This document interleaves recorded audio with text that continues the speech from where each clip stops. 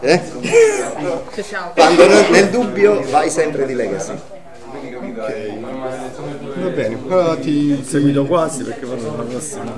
ti introduco un attimo. Vai. Iniziamo.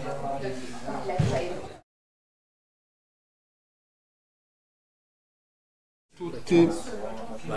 Mm. Allora, possiamo iniziare. Abbiamo avviato la diretta. E grazie per essere venuti a, questa- a questo seminario, riunione didattica del NALUG, del ciclo di incontri NALUG et Unina.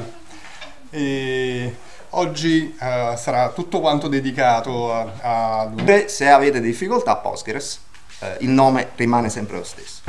Allora, mi presento un attimo, eh, mi chiamo Federico Campoli, sono napoletano all'estero, sono lasciato Napoli nel 99, sono stato un pochino in giro, sono stato qualche anno anche proprio letteralmente all'estero dall'Italia e eh, mi sono ritrovato a eh, amare questo database e, eh, e poi a eh, entrare a far parte della comunità internazionale e in questo caso eh, parlo eh, come membro di PostgreSQL Europe, che è l'associazione ombrello delle varie associazioni eh, nazionali a livello europeo, a livello europeo inteso come continente, quindi anche il Regno Unito eh, che ha deciso di purtroppo di lasciarci eh, a livello eh, geopolitico in realtà ha- fa parte di Postgres Europe e eh, organizza anche in questo caso i PG Day. Poi tra l'altro l'ultima presentazione è proprio dedicata alla storia di come è nata tutta sta roba, quindi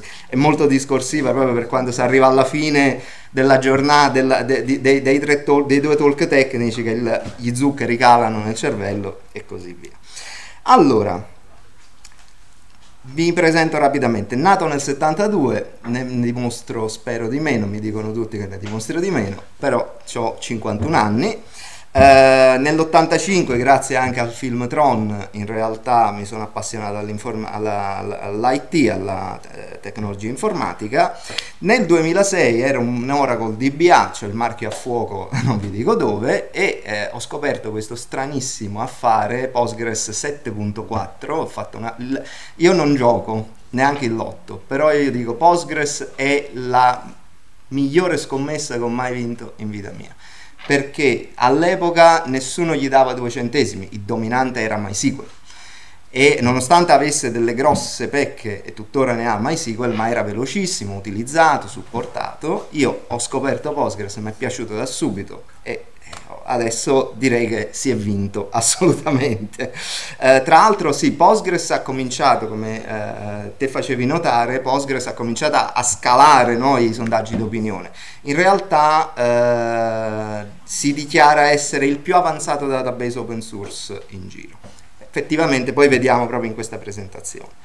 Eh, tra le tante cose, proprio perché effettivamente ci credo parecchio, ho un tatuaggio di PostgreSQL, ultimamente ci ho messo anche FreeBSD, tra poco penso a, a- a ottobre-novembre ci metterò anche Tux, lo faccio in quel periodo lì perché vorrei andare anche a, a fare un po' di nuotate e visto che il mare non si sposa bene con i tatuaggi in, in guarigione, però devo dire che questo è stato il, tra l'altro il mio primo tatuaggio mai fatto, che l'ho fatto per celebrare dieci anni di carriera da DBA e eh, devo dire che tuttora siamo due persone, due folli, io e Devrin Gunduz, un, quel- il maintainer della, eh, dei- degli RPM di Postgres, che abbiamo il tatuaggio di Postgres. Altri dobbiamo ancora trovarli, che sono talmente grulli da mettersi a fare una roba di questo tipo. Mi occupo di eh, consulenze informatiche, sono un freelance DBA, ma in questo caso eh, vi do semplicemente i miei contatti se volete entrare in contatto con me o comunque anche poi vi, vi parlerò anche dei contatti comunitari.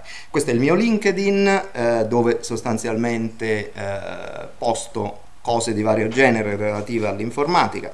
Eh, questo è il mio GitHub, ci sono vari progetti, tra cui il mio progetto eh, principale, che adesso lo sto ria, eh, ri, rimettendo in sesto, eh, è stato un po' sgarrupato, si chiama PG Chameleon, è un replicator da MySQL a Postgres e fa anche migrazioni. Tra l'altro di recente ho fatto migrare un Aurora MySQL a un Aurora Postgres e funziona da paura. Eh, però adesso gli devo, rim- devo, rimettere un pochino in mano, tutto fatto in Python. Eh, questa è la mia SoundCloud dove invece metto su la mia musica perché tra le tante cose sono anche un uh, chitarrista e jazzista amatoriale. Sono solo quattro anni che studio, però qualcosina, qualche standard lo riesco a fare. Il mio blog che ultimamente anche lui dà bisogno di tanto amore, sto cominciando a scrivergli qualcosa, a breve vedrò di pubblicare qualcos'altro e in inglese la maggior parte di quello che scrivo e faccio comunque rimane in inglese. Allora, table of contents per questa presentazione, questa la feci mm, nel 2021 al Plone Conf, perché Plone ancora gira, va e fece, la fece a Ferrara. Il, uh, venne, mi chiesero di uh, fare un paper che poi in realtà era una sorta di invito ma parliamo di questa roba qui. Allora, ho organizzato i titoli basati sulla guida galattica degli autostoppisti praticamente, quindi cominciamo con Don Panic, poi il Pan Galactic Gargoyle Blaster, Ravenous Blatter Beast of Thrall, Time is an Illusion e poi finiamo questa cosa qui.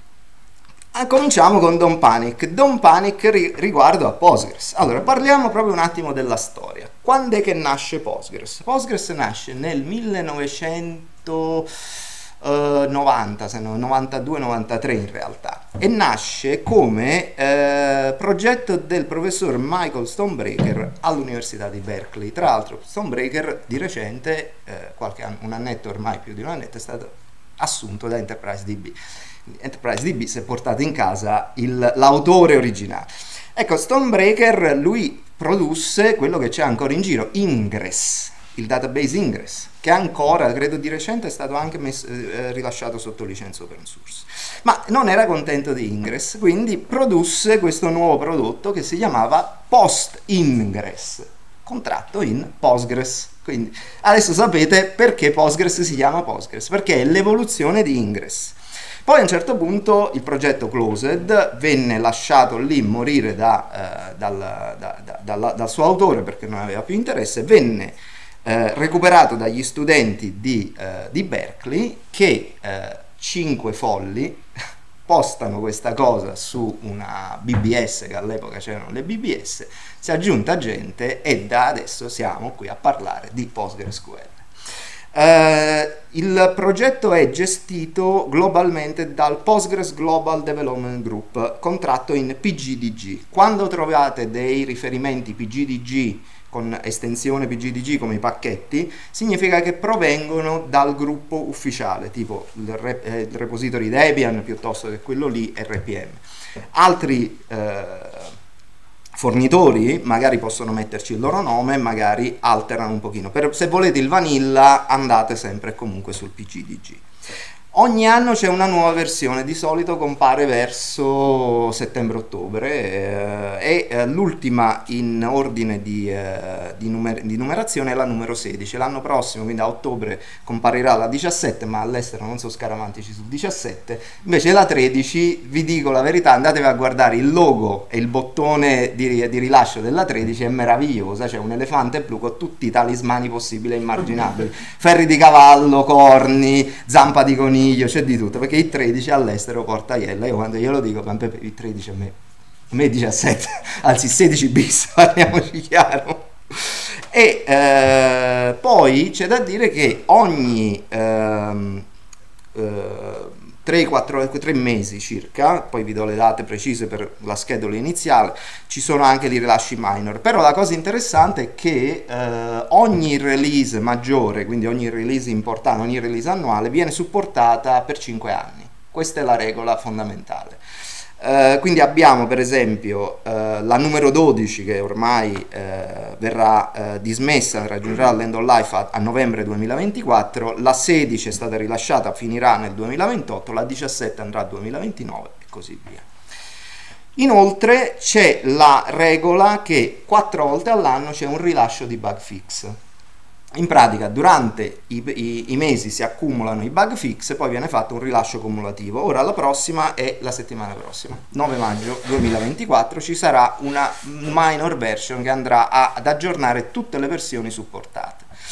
C'è da dire che non è una cosa fissa, può succedere che magari c'è un bug molto grave che deve essere corretto e si fa una release così al volo. Infatti la 14, Postgres 14, ha un numero di eh, release in più rispetto a tutte le altre perché venne rilasciato, se non ricordo male, eh, verso luglio, fecero proprio un rilascio d'emergenza perché c'era una CV molto brutta, c'era il rischio proprio di andare a, a incasinarsi di brutto, perché tra l'altro la sicurezza di Postgres è molto importante e parlando di sicurezza Postgres è, un, è diventata uh, una uh, autorità CVE, quindi praticamente ha la sua numerazione di CVE arrivata a questo punto, quindi fa parte di questo gruppo qui di eh, supporto e quant'altro. Se avete curiosità, Postgres Developer Roadmap, vi trovate tutto il rilascio, tra l'altro è interessante che Postgres non utilizza nessun tipo di eh, bug tracker, non utilizza, si fa tutto in mailing list, vecchio stile. Uh, non utilizza uh, metodiche di ticketing come Gira piuttosto che altri per no, si fa ogni mese c'è una commit fest, le commit vengono mandate prima in mailing list, le patch vengono prese in carico dalla comunità, fatti il review, fatti il feedback e quando una cosa è sufficientemente stabile, che significa con documentazione, codice ben documentato, che non ci siano schifezze dentro, a quel punto un gruppo di committer, che è un gruppo molto ristretto del gruppo di, eh, di Postgres, gente che contribuisce da almeno eh, 4 anni al codice può diventare un committer, a quel punto eh, riesce a dal commit e a quel punto entra nella nuova release. Quindi è molto fa- faticoso molto difficile molto resiliente poi a- ai rischi anche di social engineering non completamente assicuro. Parlavamo proprio del discorso della libreria L- eh, XZ che per poco non ha causato l'apocalisse su internet. Tra l'altro è stata scoperta da Andrews Friend, che è uno dei contributor più importanti di Postgres, quello che ha introdotto la GIT, la Just in Time Compilation autentico genio, ha avuto quella colpo d'occhio di scoprire le cose. Pangalattic Ergol Blaster, questa qui è una zeppola di Capparelli, se vi, vi viene curiosità. Ogni tanto mi, torno a Napoli e quello ingrasso di 2-3 kg. Devo dire che purtroppo anche stamattina non ho potuto non cedere a una sfogliatella. Allora, parleremo delle, un attimino, una cosa molto tranquilla, le feature uh, di PostgreSQL. Allora, Postgres è un database ACID compliant. Normalmente ACID è uh, atomicity, consistency, isolation, durability. Tutti i paradigmi vengono implementati. Si può leggermente spegnere la durability facendo il commit asincrono, ma di default tutto quello che viene scritto va subito sui log delle transazioni garantendo la durability. Eh, la scalabilità di Postgres è garantita dall'MVCC, Multi-Version Concurrency Control. Questo qui è, per chi ha mai lavorato con Oracle, è la contrapposizione totale log, all'undo table space di Oracle. L'undo table space di Oracle è una copia dei blocchi fisici per garantire la consistenza in lettura. Postgres invece con questa metodica non fa degli update ma fa delle insert delete e lascia delle righe di, vecchie, di pre- versione precedente in essere tracciate dalle transazioni per essere visibili magari a transazioni che devono leggere soltanto quelle, quindi versioni precedenti. Quindi ha uno snapshot in movimento delle varie transazioni eh, garantito a livello di blocco è un'ottima implementazione ma molto debole proprio per gli update. Quindi se avete tanti update le tabelle tendono a ingrossarsi tanto gli indici si ingrossano e tutto il mondo va l'entropia si, si incasina arriva alla morte dell'universo la morte termica dell'universo. Ecco. Quindi attenzione agli update. Ha un supporto per le table space, quindi è possibile garantire, eh, creare degli oggetti logici che corrispondono a oggetti fisici e eh, a, a, percorsi fisici che permettono di distribuire le relazioni, tabelle da una parte magari su un, un disco più lento, gli indici su dischi più veloci o viceversa, come vi pare e piace. Questa è una cosa che ce l'ha Oracle fin dal suo inizio, Postgres l'ha introdotta con Postgres 8.0. Uh, gira su quasi qualsiasi Unix, anche se la fanno da padrone principalmente Linux, ovviamente è quello meglio sviluppato. Adesso si sta andando molto su architettura ARM, anche perché eh, devo dire che ARM ha dei vantaggi non da poco, soprattutto a livello di blocco del file system e anche su Windows, ma eh, vi sfido a farlo andare veloce. Purtroppo eh, già la memoria di Linux fa cazzotti con Postgres, io dico sempre che Postgres e Linux non sono assolutamente amici, si pestano i piedi l'un l'altro, si possono rendere un attimino più uh, friendly, però lì Windows in realtà è veramente aliena il, il, il, metodo di gestione della memoria che fa cazzotti poi con come la memoria viene eh, implementata e gestita, cioè il singolo segmento in memoria dentro Windows fa fatica e in effetti passi da Windows a Linux e le performance triplicano, quadruplicano, semplicemente gratis. Eh, supporto per le foreign tables, le foreign tables sono una figata pazzesca perché praticamente potete mappare tabelle remote di qualsiasi o quasi sorgente ai tempi di prima che Twitter diventasse ormai l'ombra di se stesso, quando i, i tweet erano eh, accessibili, si potevano mappare tabelle che andassero a leggere lo stream di tweet direttamente. Quindi te leggevi la tabella Postgres, ma in realtà andava a recuperarti i tweet direttamente dalle API di, eh, di Twitter e tra le tante cose. Le foreign tables c'è il supporto per Postgres, leggere tabelle di MySQL, l'ho usato spesso e volentieri per superare le limitazioni dell'SQL di MySQL facendo manipolazioni remote, eh, Oracle, SQL Server, quello che volete, addirittura eh, database close, eh, NoSQL come possono essere Cassandra piuttosto che eh, Neo4j, ce ne sono di tutto di più, addirittura eh, Kafka c'è anche uno streamer per, per le, le, code Kafka. Devo dire che è molto interessante. Tra l'altro l'ho fatto per un cliente molto molto interessante. Linguaggi procedurali, quanti ne volete? Ovviamente PL, PGSQL è il è quello che la fa da padrone, è molto simile al PLSQL di Oracle, eh, mentre invece abbiamo PL Python, PL Perl, c'è PL PHP, PL V8 che è roba fatta da Google, quindi potete programmarvelo veramente come volete, e, eh, è veramente notevole.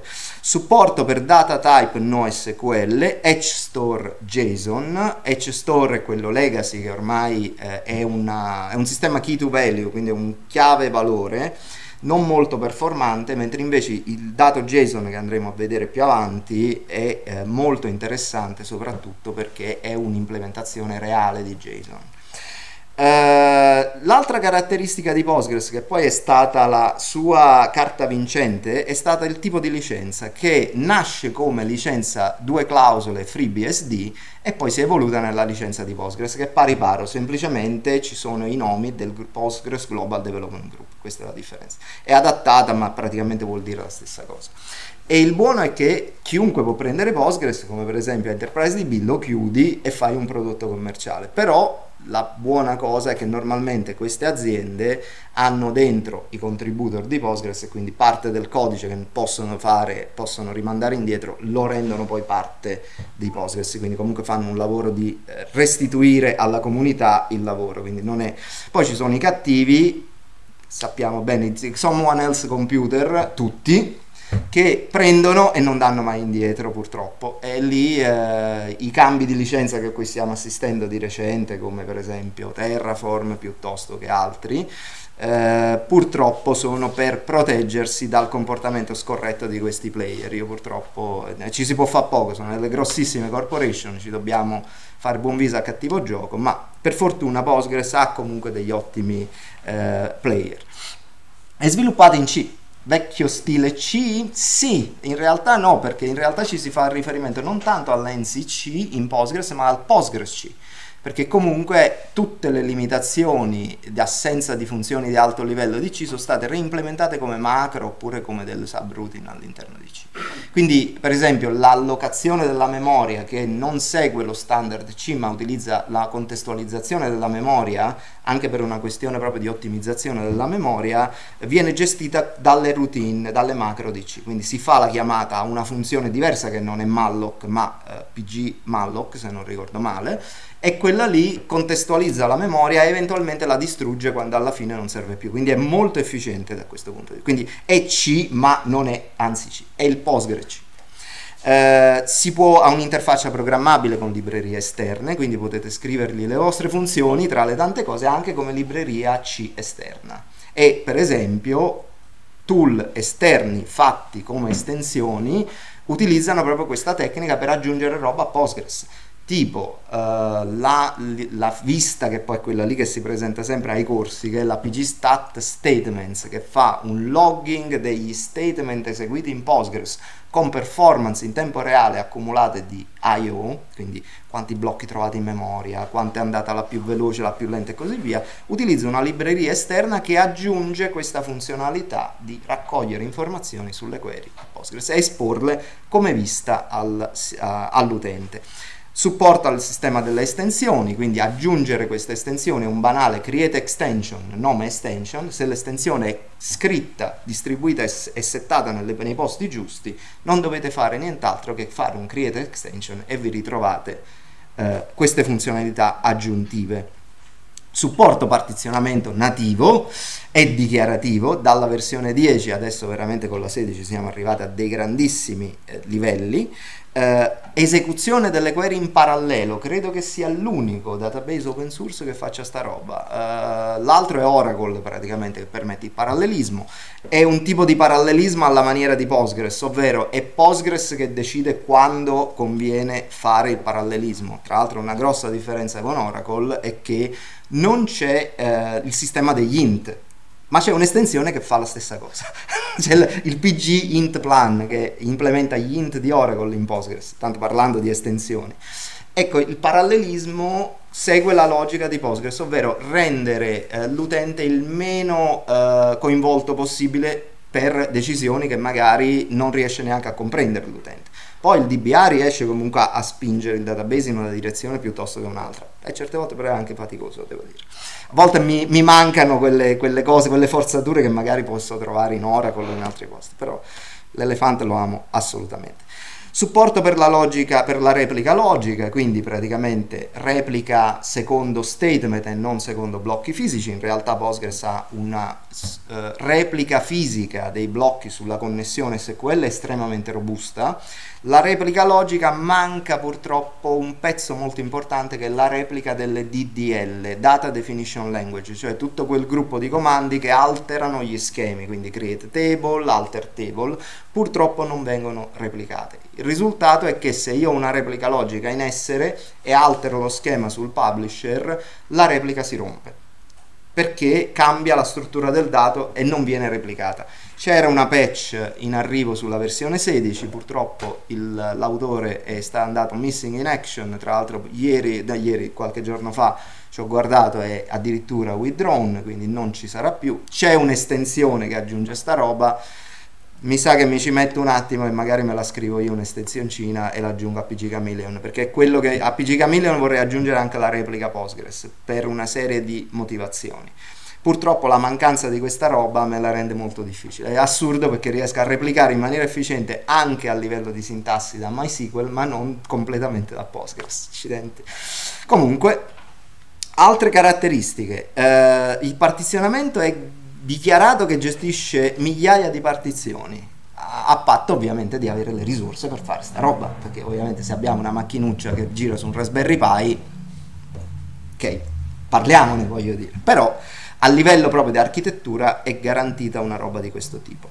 Eh, gli indici B3, che sono poi, perché Postgres tra le tante cose supporta anche tipi di indice diverso, ma quello general purpose è l'IB3, eh, ha implementato di recente la deduplication, ovvero eh, riduzione della dimensione dell'indice quando ci sono dati duplicati. Quindi un indice a parità dalla eh, versione 14 alla 15, che poi ha introdotto inizialmente questa roba, e l'indice dopo essere stato ricostruito dopo la migrazione si riduceva già di un 30-40% in dimensione, a parità di dato indicizzato. Quindi tanta roba e la 16 migliora ancora. Eh, supporto di statistiche avanzate, quindi basa- tutta la parte del piano di esecuzione è un piano di esecuzione che si basa sui costi e quindi sulle stime dell'accesso ai dati, non è basato su regole. Uh, supporto per il Common Table Expression e l'inlining, il with statement, quindi costruzione di blocchi di SQL che possono essere usati in altre parti dell'SQL stesso, con anche alterazione dei dati, quindi anche DML all'interno, con ritorno dei dati modificati e utilizzabili in altre parti, una roba che è veramente pazzesca.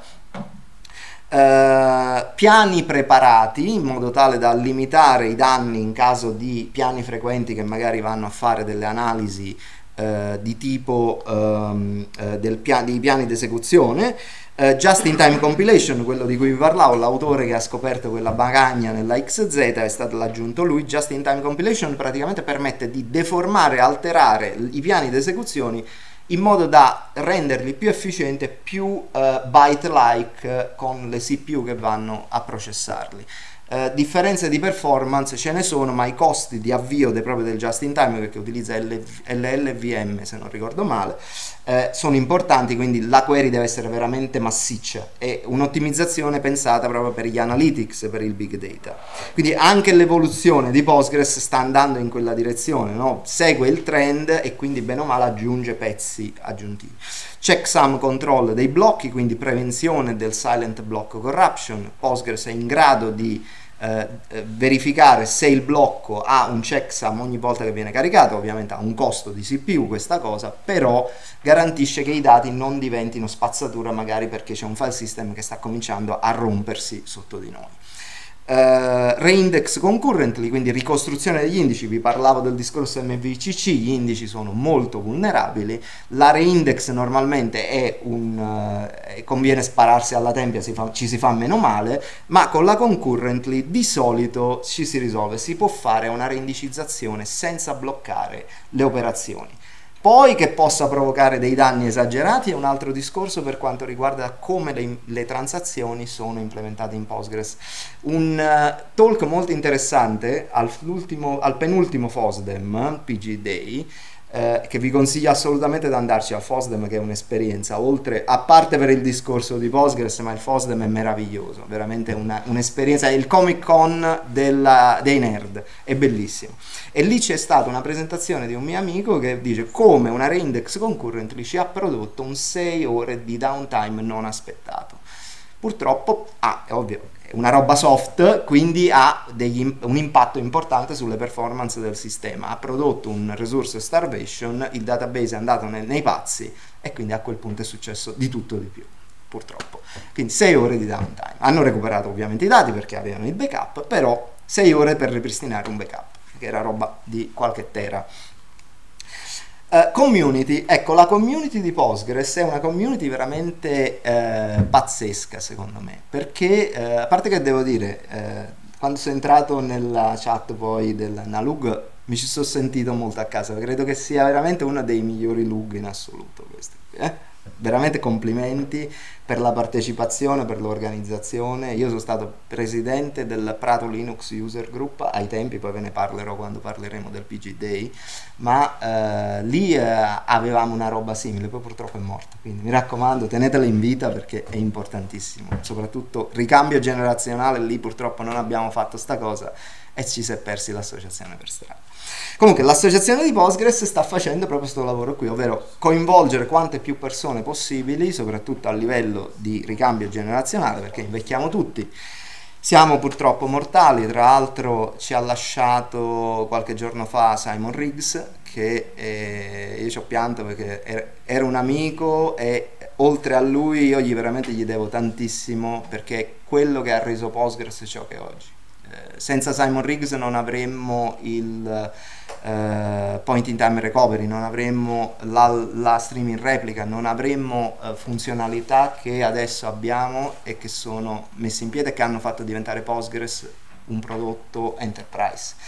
E purtroppo eh, siamo mortali e quello deve dire è stata una mazzata esagerata. Quindi attenzione al ricambio generazionale. Comunque, Mailing list, siamo vecchi, ci piacciono le mailing list. Uh, non vi consiglio di iscrivervi alla mailing list hacker, sono, è insana quella mailing list. 30-40 messaggi con pezzi di codice C al giorno minimo.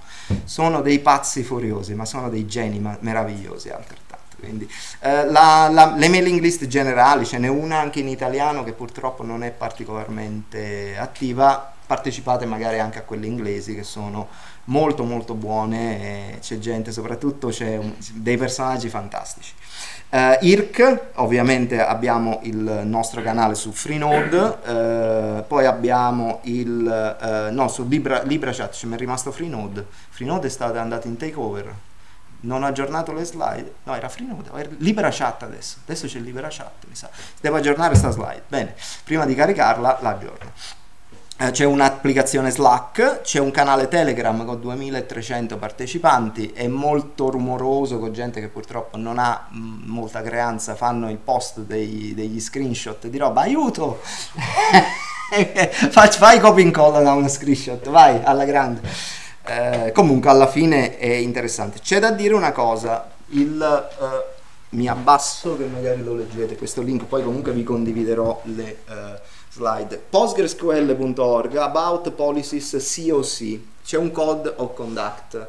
Uh, c'è un comitato del, per uh, mantenere in forza il code of conduct, è uh, indipendente da tutti gli altri organi di Postgres, ogni anno cambiano i membri, non si, non, i membri non rimangono in carica per più di due anni di fila e eh, diciamo che eh, la regola in realtà se lo andate a leggere la, la cosa è molto semplice. Siate cari- non siate dei, non fate i bastardi praticamente. Siate be nice sostanzialmente. Ovvero non fate in, eh, affermazioni sessiste non fate affermazioni razziste.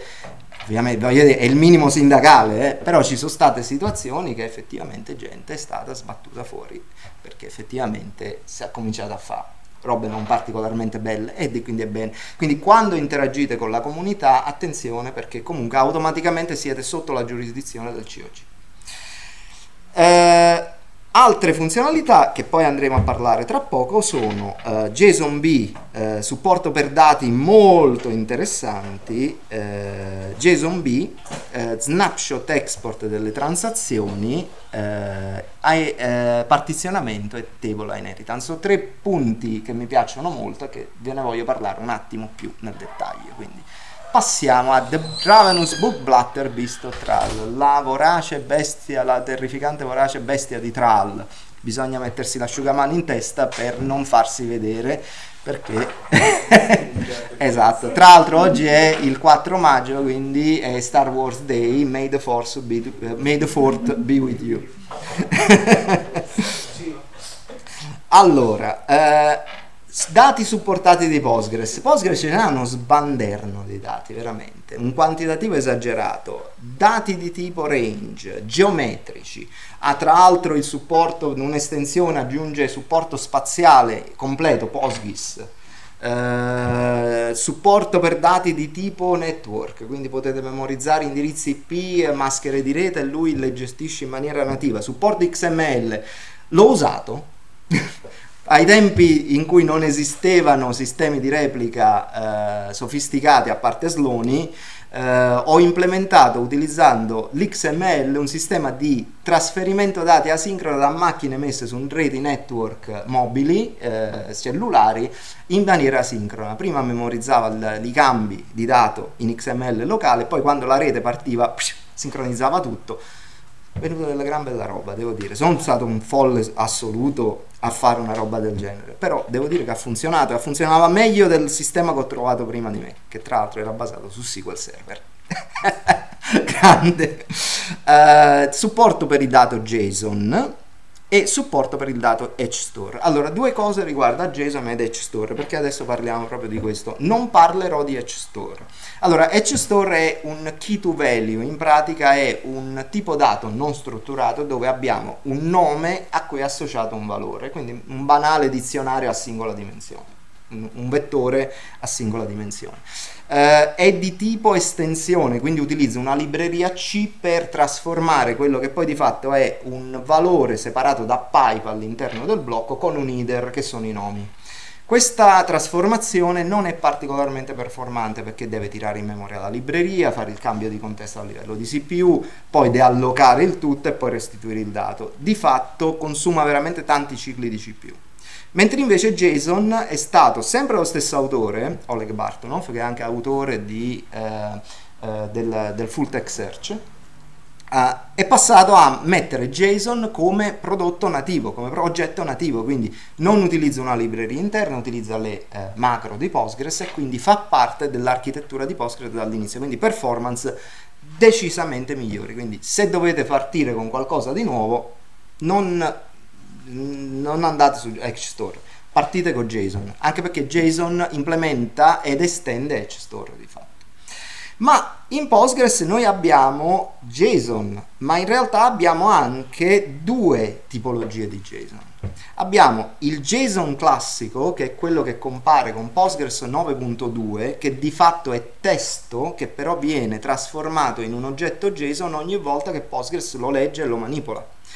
E poi abbiamo il JSON B che compare con Postgres 9.4 se non mi ricordo male, ormai sono passati quasi 20 anni, almeno 10-12 anni, dai, mi sembra ieri che ho migrato 9.2, 9.4, adesso 9.4 ormai è, è, è, storia antica praticamente.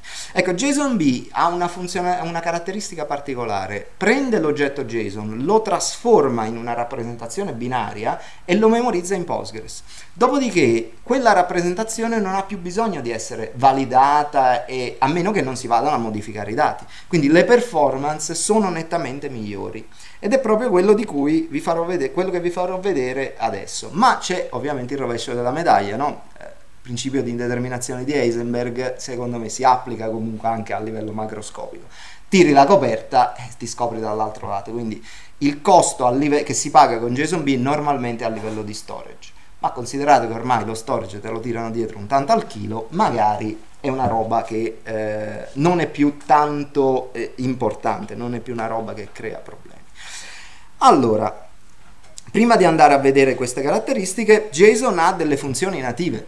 Per esempio, una riga di dato può essere trasformata in un JSON utilizzando questa funzione. Io in pratica prendo una riga di tabella, row è un, è un modo per dire sto descrivendo una riga, questo, questo qui è un comando tipi, uh, classico di Postgres, io mi vado a costruire una riga di tabella, un rig una riga dato in maniera dinamica qua dentro. La passo alla funzione row2json e a questo punto la funzione me la trasforma in un oggetto JSON. Se ci metto un b dietro, quindi row2json b, il dato restituito è un JSON b invece di un JSON. Questa è la differenza. Quindi tutte le funzioni che vediamo adesso, se ci mettete una B alla fine, sono funzioni per manipolare poi l'oggetto JSON B. Eh, una caratteristica poi di questa è che purtroppo vi, vi crea dei nomi dinamici. C'è un trucchetto creando dei tipi dato custom per creare nomi non dinamici, però è abbastanza macchinoso purtroppo. Questa è l'unica rottura di scatole. Si può fare anche il contrario, prendo un JSON e lo espando in un set di record, quindi, row, eh, quindi JSON each, select star from JSON each passandogli un JSON, a quel punto io ho un rappresentazione tabulare con key e value, quello che poi fa eh, Edge Store, no? Quindi in pratica io con queste rappresentazioni utilizzo JSON e di che? Eh la vedo con la mano alzata. Eh. uh, eh, come si fa per i JSON innestati? Uh, uh, JSON innestati, eh, bella domanda. Uh, in realtà bisogna fare una query ricorsiva quindi in pratica, con, allora, la, avevo citato la, la, la WIT. Allora, la, la WIT è una CTE, ovvero io vado a costruire un blocco SQL statico che poi posso usare. Ma quel blocco SQL può essere WIT recursive. Quindi se io faccio in modo che la prima query mi ritorni un dato e quel dato poi venga usato all'interno di una union, posso andare poi ad esplodermi sta roba. In effetti ho fatto una roba di questo tipo per un cliente dove ha dei JSON che innestano dati che si trovano in altri punti. E con questo trucchetto sono riuscito ad esplodere praticamente dato il punto d'ingresso mi ha esploso poi tutta, tutto, tutto l'albero. Uh, quindi è, è, assolutamente fattibile però è non è proprio nativo non c'è una funzione infatti perché poi sostanzialmente le, gli innesti vanno poi in altre tabelle uh, no gli innesti a quel punto posso, è come lo vuoi rappresentare eh, perché quindi a quel punto c'è la flessibilità di dire che faccio col dato che mi è ritornato. Esatto. E quindi a quel punto posso dire ok, lo, lo metto come un campo JSON snest- eh, esploso oppure posso riesplodere ulteriormente. Si possa fare di tutto di più, poi il costo... tabelle, Eh, e poi finisce- finiscono le risorse sulla macchina, ma insomma arriva il sistemista e incomincia con la chiave inglese e comincia a picchiare sulla testa tutti. E quello è un classico. Eh, ecco, parlando proprio di JSON, fate attenzione eh, riguardo alla differenza tra JSON e JSON-B. Allora, JSON eh, è eh, il parsing è fatto e validato al volo. Mentre invece JSON-B, come ho detto, viene scritto e trasformato durante gli insert update, dopodiché rimane lì bello statico e placido. In fase di lettura non costa praticamente quasi nulla. Eh, inoltre, un altro vantaggio interessante di JSON-B è che può essere indicizzato nella sua interezza. Quindi io ho un campo JSON-B, vado a creare un indice di tipo GIN, che è General Inverted Index, eh, è un tipo di indice eh, per dati non strutturati. Nasce come indice per dati spaziali, ma poi è stato esploso e aggiunto anche per eh, è stato eh, esteso anche per queste funzionalità. La figata è che il JSON può essere eh, eh, è, è volatile all'interno, quindi qualsiasi campo c'è dentro, qualsiasi struttura di JSON, l'indice GIN si riadatta automaticamente per indicizzare. Dove si paga il costo? È che normalmente un indice GIN è 10 volte più grosso della tabella originale. È invertito, quindi invece di andare a puntare i blocchi fa l'esatto opposto. Dai blocchi si esplode tutto l'albero poi che va a destrutturare il dato. Che ha anche senso, cioè lui di fatto l'indice GIN esplode il JSON anche innestato e lo indicizza. Però il vantaggio è che accedere al dato magari su un dato spuntuale passando, andando a cercare un, un singolo campo, la roba si accede molto più rapidamente. Che qui costo storage piuttosto che performance. Eh, l'ho visto usato molto nel machine learning eh, e per eh, la l'impropriamente chiamata intelligenza artificiale, la, la, la, l'AI eh, generativa, ecco, dovrebbe essere il nome corretto. Accidente a chi mette stino ai giornalisti purtroppo, cioè, si inventano ste robe, cioè, siamo già, per loro siamo già dal 9000 praticamente. Eh, comunque, se, nel dubbio, se eh, non utilizzate le funzioni native di Postgres di JSON eh, e non avete bisogno di indicizzare il dato, andate direttamente, addirittura usate il text, non usate JSON, perché comunque eh, il JSON richiede CPU per essere validato. Se voi avete validazione sull'applicazione, buttatelo dentro un campo text. Il limite del text, il limite del JSON, JSON B è uguale, 1 GB massimo per ogni singolo eh, campo, e per ogni riga. Eh. Quindi quella è la limitazione strutturale di Postgres, del cosiddetto dato tostabile che toast non è il toast, ma è un, un acronimo che è The Oversize Storage Attribute Technique. Anche se poi sul manuale credo che ci sia scritto anche un piccolo, una piccola facezia riguardo proprio al toast. Best thing after uh, sliced bread. Ecco, qui vi faccio vedere un attimo una roba con i JSON, JSON JSON B.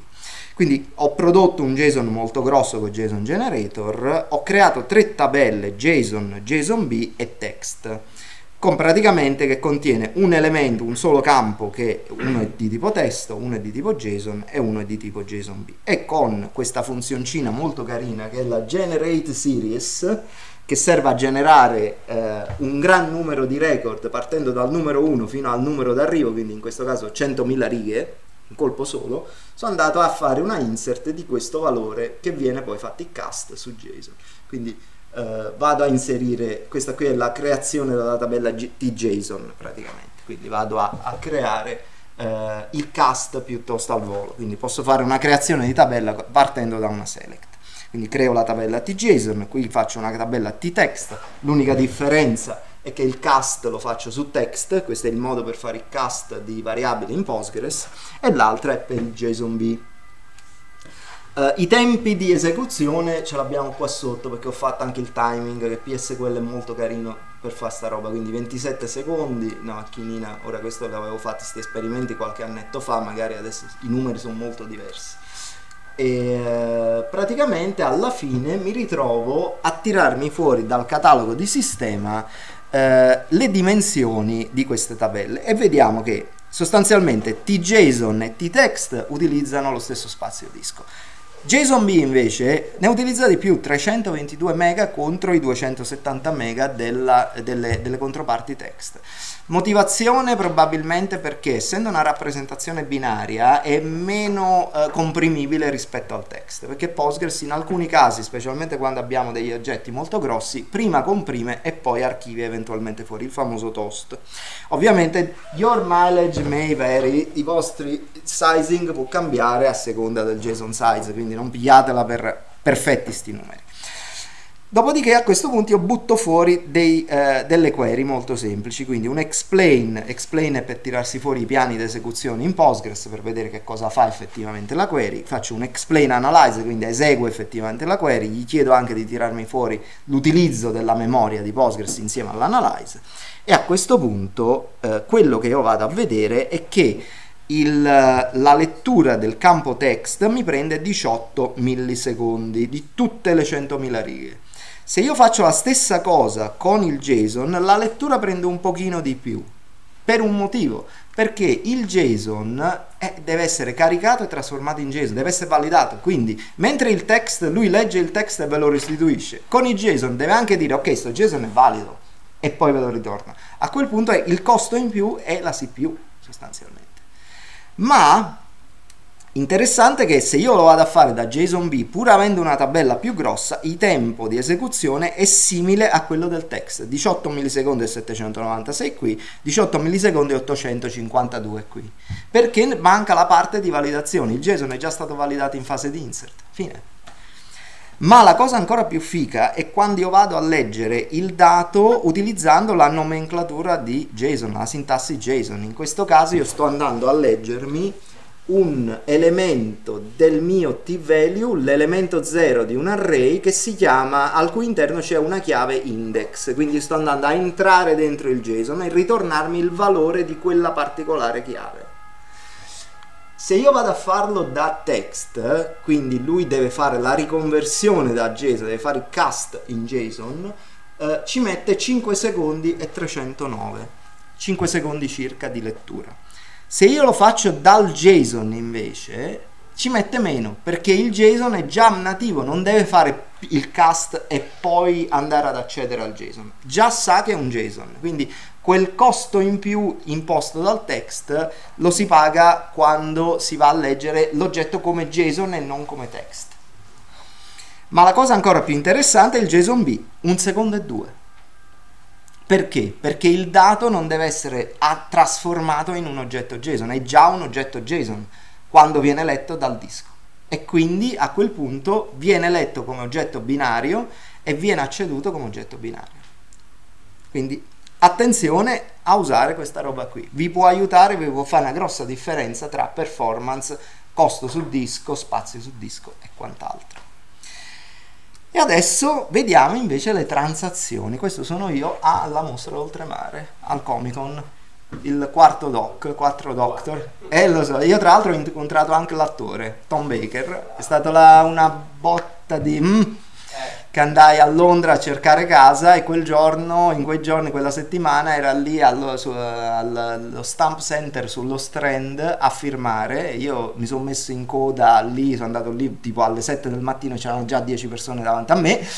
Ma ho avuto la fortuna e ho anche una foto con lui, devo dire che è un personaggio notevole, veramente notevole e la sciarpa me la sono fatta fare, una sciarpa di eh, 3 metri e qualcosa, di lana, quindi diciamo che adesso non è particolarmente adatta, però devo dire che ah, venire a Napoli anche con il caldo e con la sciarpa di lana, voglio dire, venire vestito da doc è meraviglioso. E lì c'era, c'erano i Wuvians, i Bad Wolf Campania che avevano messo la console del Tardis, più un tardi, quindi mi sono fatta fare la foto.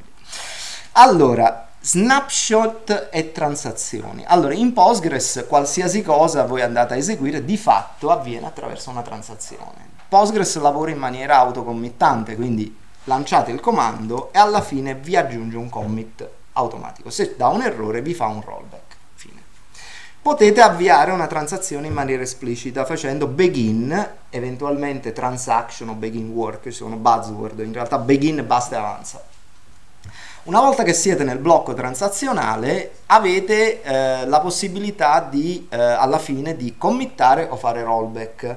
C'è da dire che quando siete all'interno di una transazione Postgres diventa pedanta bestia perché se basta anche un minimo errore di sintassi la transazione va in abort e anche se gli date commit lui vi risponde rollback cioè anche se fate commit lui comunque fa rollback del tipo come era Luca Cupiello no? tu mi mandi la gallina ma io mi mangio un brore vegetale ecco uguale quindi eh, praticamente che cosa succede? succede che quando si usa una transazione esplicita quando abbiamo necessità di fare qualcosa di sofisticato e in questo caso il transaction è snapshot ovvero una transazione aperta può esportare la eh, fotografia dei dati che sta vedendo ad altre sessioni che non hanno nulla a che vedere con questa transazione. E di fatto posso andare a creare una lettura dei dati in parallelo sullo stesso set di dati consistenti. È una figata pazzesca. Il PG dump in parallelo fa proprio questo lavoro qua apre una sessione, avvia la transazione, esporta le transazioni a tutti i worker che io gli vado a dire a quel punto i dati vengono esportati in parallelo leggendo dati consistenti dallo stesso database. E ora vi faccio vedere come utilizzarla invece nelle vostre applicazioni. C'è da dire che eh, il livello di isolamento delle transazioni in Postgres, il default, che è il eh, read committed, eh, è una roba che eh, deve essere, come dire, eh, non va bene per fare questo lavoro, perché ogni volta che completate una, un comando anche all'interno di una singola transazione, quello snapshot viene eh, rilasciato e perso. Dovete alzare il livello di isolamento delle transazioni a repeatable read, ovvero ogni volta che leggo i dati, anche se ci sono delle transazioni esterne che committano questi dati, io non vedo le modifiche, perché ripeto sempre comunque la stessa lettura di prima. Quindi sparisce la phantom read sostanzialmente. Eh, a questo punto vi faccio l'esempio, ovvero creo una tabella Uh, questa qui è diver- leggermente diversa da quella di prima del JSON, butto dentro dei dati, uh, metto 200 righe all'interno di questa tabella, tdata e poi a questo punto faccio l'avvio della mia prima transazione. Mi collego a Postgres e faccio begin transaction isolation level repeatable read. Una volta fatto questo, chiamo la funzione select pg export snapshot e lui mi ritorna con uno, un identificatore di snapshot che è una roba esadecimale costruita da lui non è importante, segnatevi questo valore. Dopodiché controllo che i dati eh, siano effettivamente là dentro, quindi select st count star from data, effettivamente ho 200 righe. Mi collega a un altro PSQL o a OPG admin 4, quello che volete, e eh, da quella sessione cancello tutti i dati dalla, dalla, tabella data, senza neanche aprire una transazione, delete from data, faccio il disastro, cancello i dati e controllo che i dati sono a zero. Dopodiché nella stessa sessione faccio begin transaction isolation level repeatable read perché deve avere lo stesso livello minimo dell'altra e poi imposto lo snapshot che mi ero esportato prima. Quando vado a fare la select count mi ritrovo i dati pari pari a prima. È ovvio che se la prima sessione si disconnette però lo snapshot viene perso e la seconda lettura poi dà errore. Quindi la prima sessione che esporta deve sempre rimanere connessa e idle in transaction, mai fare commit prima di andare poi a perdere, perché se no lo snapshot viene invalidato e poi le altre sessioni che sono collegate a questo snapshot non funzionano più. Ma se tenete conto di questa roba, dopo praticamente potete crearvi le vostre applicazioni che lavorano in parallelo esportare dati in parallelo in maniera consistente o leggere o modificare i dati in parallelo. Mostly Harmless, questo è sempre il Comic Con. Uh, c'era un simpatico Deadpool che girava, c'era anche una simpatica Deadpool molto carina, almeno a giudicare da come era vestita. Non l'ho vista in faccia, però sembrava una bella ragazza, devo dire. Uh, Table Inheritance, lui in rege devo dire che era veramente un gran personaggio, ci ha fatto morire dalle risate col, con l'unicorno. Io Deadpool l'adoro. Uh, Table Inheritance e partizionamento. Allora, Table Inheritance è una funzionalità che po- su Postgres veramente da tanto tanto tempo. Ovvero io mi posso creare una tabella senza definire i campi, ereditando i campi da una tabella padre. Concetto di ereditarietà, infatti molto spesso di Postgres si parla di Object Relational Database System, perché implementa la programmazione a oggetti I nomi, le tabelle e le relazioni sono chiamati classi, i campi sono chiamati attributi, cioè abbiamo l'ereditarietà, quindi diciamo che un pochino. Qual è il problema di questa implementazione? È che lo storage fisico è separato e quindi non è possibile avere una chiave primaria univoca. Quindi quello che c'è nella tabella padre è separato fisicamente da tutte le tabelle figlie e quindi eh, creare un partizionamento era un incubo, fino a Postgres 9.6 era un incubo assoluto perché bisognava fare dei trigger con no foreign key, no global primary key, non c'era modo di capire l'univocità, c'era da spararsi letteralmente. Però questa infrastruttura ha fatto poi ha spianato la strada per il partizionamento che a tutt'oggi eh, supporta chiave eh, primaria globale, quindi si crea la chiave primaria sulla tabella partizione partizionata e automaticamente viene ereditata dalle partizioni che vengono agganciate a questa tabella. Automaticamente possiamo creare foreign key che vanno dalla tabella partizionata ad altre tabelle o il viceversa. Limita- l'unica limitazione è che al momento non è possibile creare le foreign key di tipo invalid, che sono molto comode perché io creo delle foreign key senza fare la validazione e poi le valido a posteriori. Quindi aggiungere delle foreign key su tabelle partizionali gross, partizionate grosse richiede magari anche del tempo perché deve fare tutto il processo di validazione, è un lock invasivo, però parte quello devo dire che è veramente un gran lavoro e vi faccio vedere rapidamente come si può fare un range partitioning. Postgres supporta sia il range partitioning, quindi ogni partizione ha un range definito di dati, list partitioning, quindi liste di dati da impostare nelle partizioni, oppure un hash, ovvero vado a costruire un modulo che poi viene verificato partizione per partizione. Se il dato non è eh, compatibile con la partizione e non ci sono partizioni che possono ricevere questo dato, Postgres dà errore a meno di non utilizzare la cosiddetta catch-all partition, ovvero la default partition. Vi faccio vedere anche questo. Come si crea una tabella partizionata? Allora, create table, uguale come per qualsiasi cosa, ma aggiungiamo la clausola partition by, eh, scusate, partition by, in questo caso range di chiave di partizionamento, che deve essere chiave primaria. Se invece vogliamo partizionare secondo campi che non sono parte, di, che non sono, uh, parte della chiave primaria, non abbiamo altra scelta che renderli parte della chiave primaria. Quindi possiamo creare una chiave primaria composita su più campi, il del, del parti- il criterio di partizionamento deve essere parte della chiave primaria, altrimenti vi dà errore. Purtroppo c'è questa limitazione, deve sapere l'univocità per poter poi distribuire i dati poi alla fine. Postgres impone questo, questa cosa qui. Quando avete creato la tabella così, non la potete usare, perché la tabella partizionata è sempre vuota per definizione. Il dato va a finire nelle partizioni che sono agganciate a questa tabella.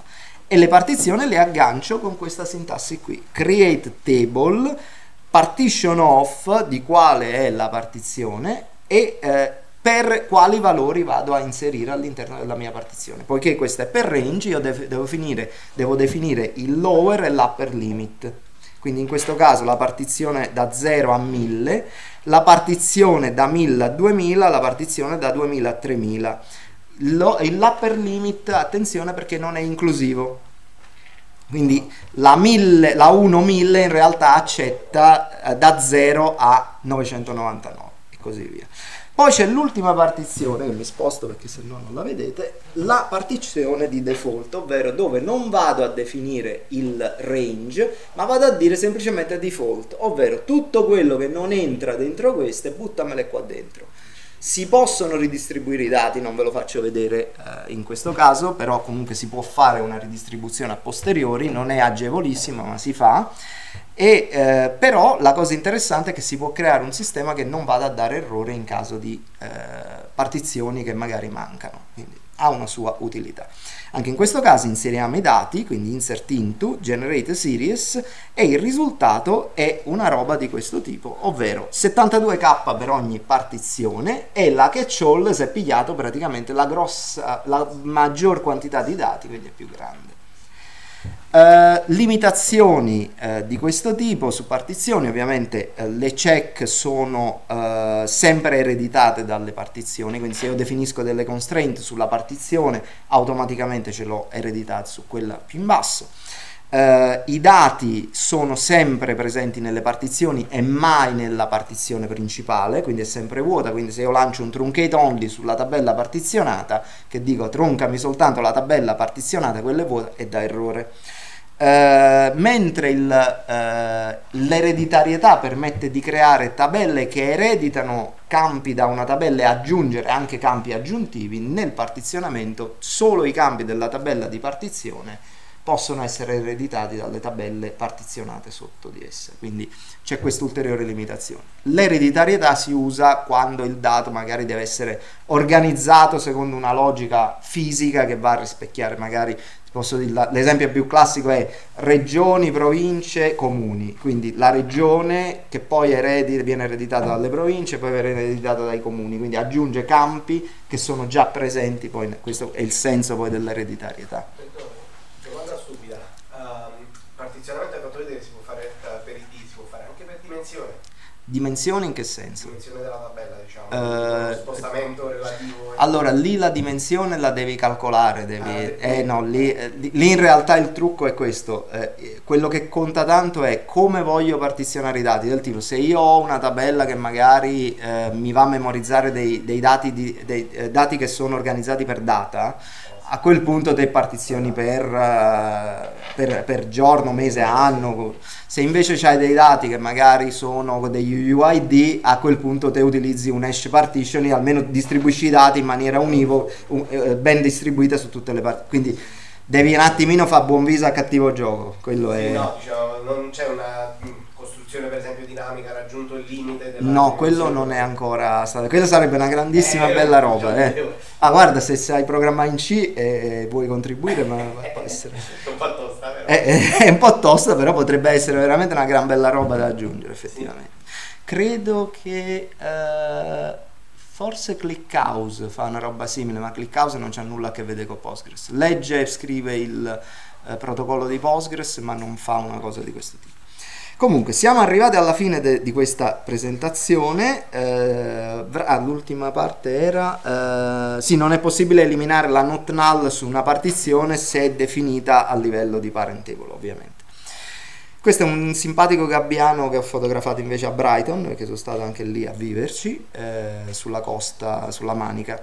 Uh, wrap up Postgres è un gran bel prodotto ha ovviamente i suoi punti deboli ma eh, utilizziamolo ovviamente nella maniera proper e eh, soprattutto eh, vi invito assolutamente a entrare in contatto con la comunità perché sono veramente simpatici, al di là di tutto sono persone veramente ganzissime e vi tendono, sempre, vi tendono sempre una mano quando c'è da, da, magari da chiarire qualcosa o comunque da, è ovvio che non vi fanno il, se vi fanno il lavoro vi chiedono ovviamente vi staccano fattura eh lo faccio anch'io voglio dire. Però se c'è da dire aspetta non riesco a far partire il db fammi vedere un attimo che errore ti dà. Cioè, voglio dire, è normalissimo è assolutamente eh, dovuto perché comunque è un prodotto che si vive della sua comunità. Eh, queste poi praticamente le slide le metterò su uh, poi le condivido su uh, le metto su speaker deck eh, poi ve le, ve le condivido. Tra l'altro devo aggiornare proprio quella parte della chat eh, questa è la mia simpatica amica Pinkie Pie. Sono, faccio coming out, sono un brony, mi piacciono i pony.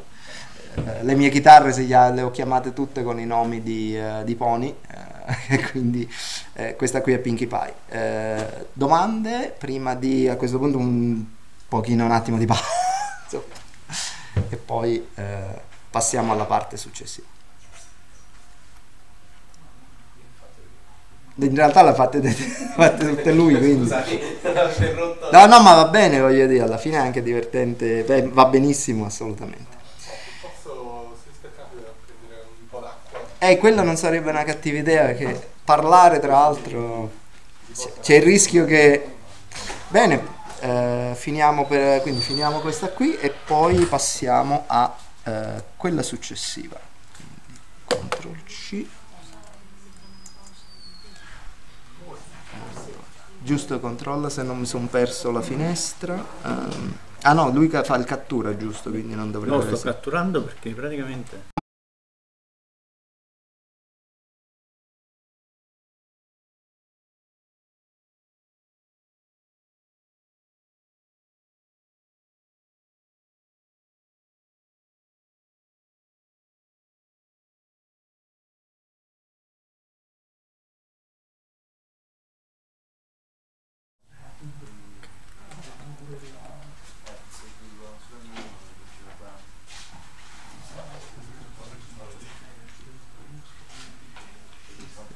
Ah, eccolo. Riuscivo più a trovare.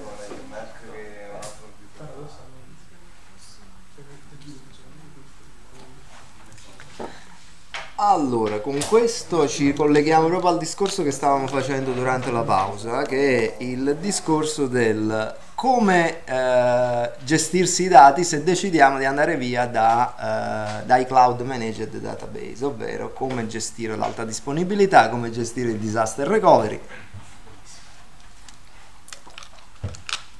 Questa qui la presentai per la prima volta all'incontro DevOps Italia, tra l'altro è una conferenza molto bella si fa ogni anno a Bologna, eh, se siete interessati al DevOps eh, è veramente ganza. Eh, tra poco è organizzata dal GRUSP, un'associazione che si occupa di conferenze open source in Italia che gestiscono di tutto di più.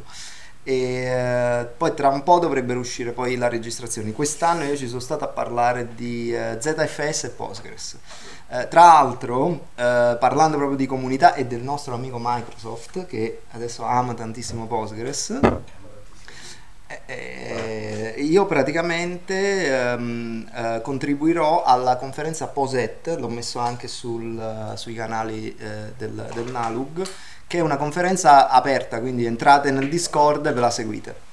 Pari pari, i talk sono preregistrati e io parlerò proprio di sta roba, Postgres e PG ZF, e ZFS, ovvero come avere la botte piena o gli ubriachi. Ma Oggi parliamo invece di. Quindi è il motivo per cui non vi parlo di sta roba, quindi ve la, la potete tranquillamente recuperare. Poi il- me l'hanno messa la mia 12 di giugno, è lo stream del 12 di giugno.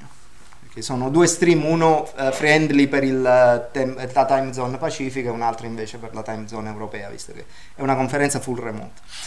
Allora, protecting your data con patroni PG Backrest. Parleremo praticamente di eh, un po' di cose, ovvero alta disponibilità e come fare in modo di avere un'alta disponibilità senza avere tutti i side effect brutti, tipo lo split brain, e patroni ci aiuta in questo, e come eh, avere un disaster recovery che poi parli con questo signor Patroni.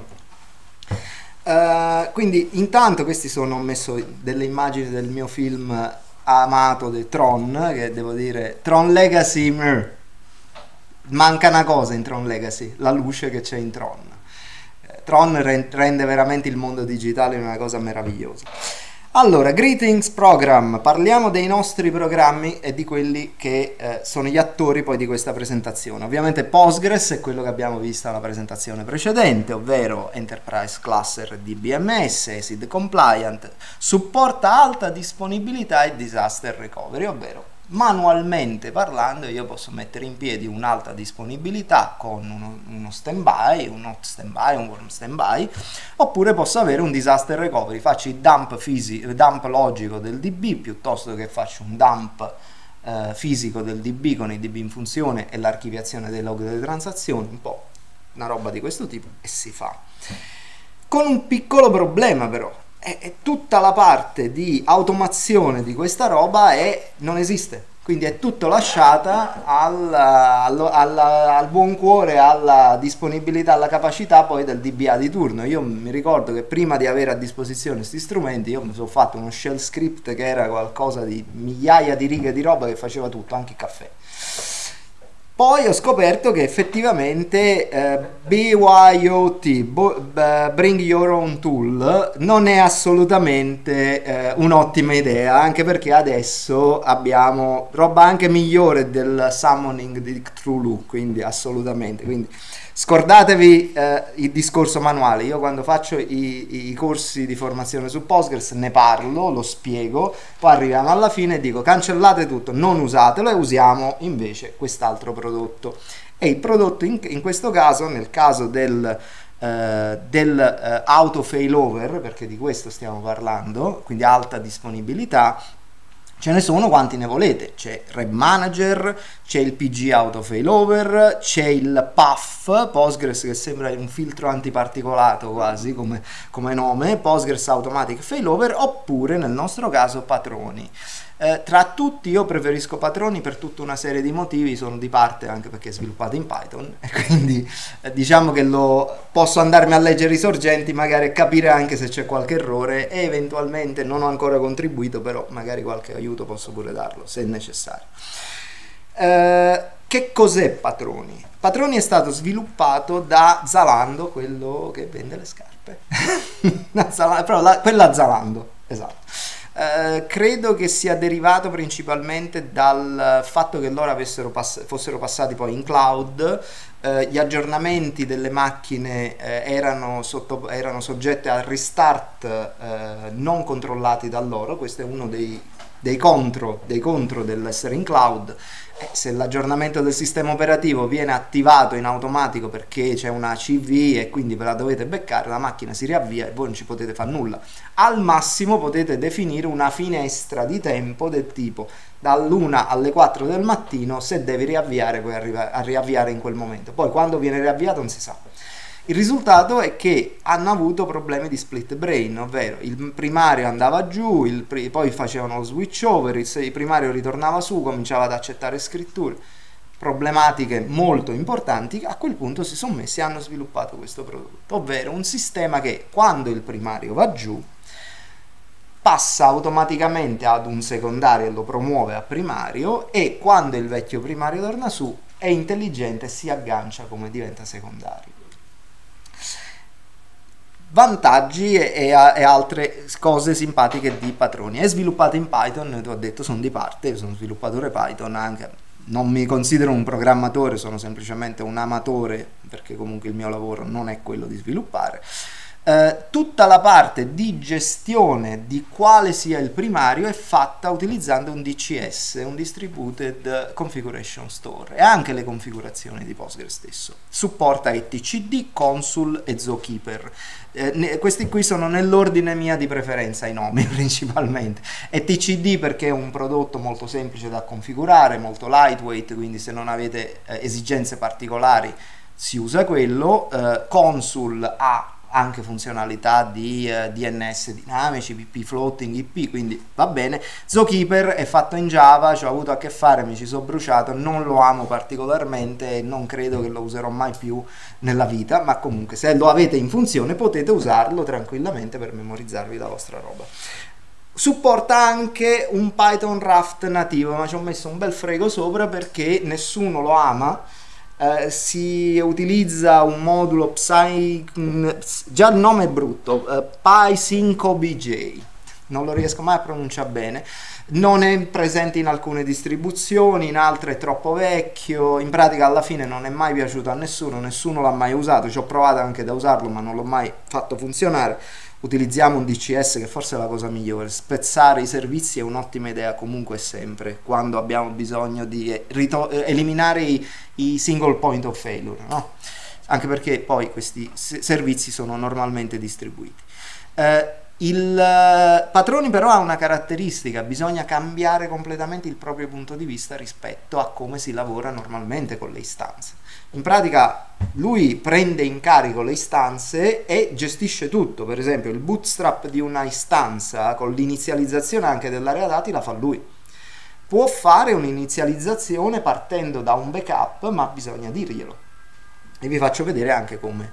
Eh, l'automazione di failover switchover, eh, se il primario va giù, automaticamente lui dopo un tempo X che viene configurato, quindi un time to leave del token di, di, eh, di acquisito, acquisito dal primario, a quel punto elegge un nuovo primario. Quindi lo switchover, il failover lo fa in automatico.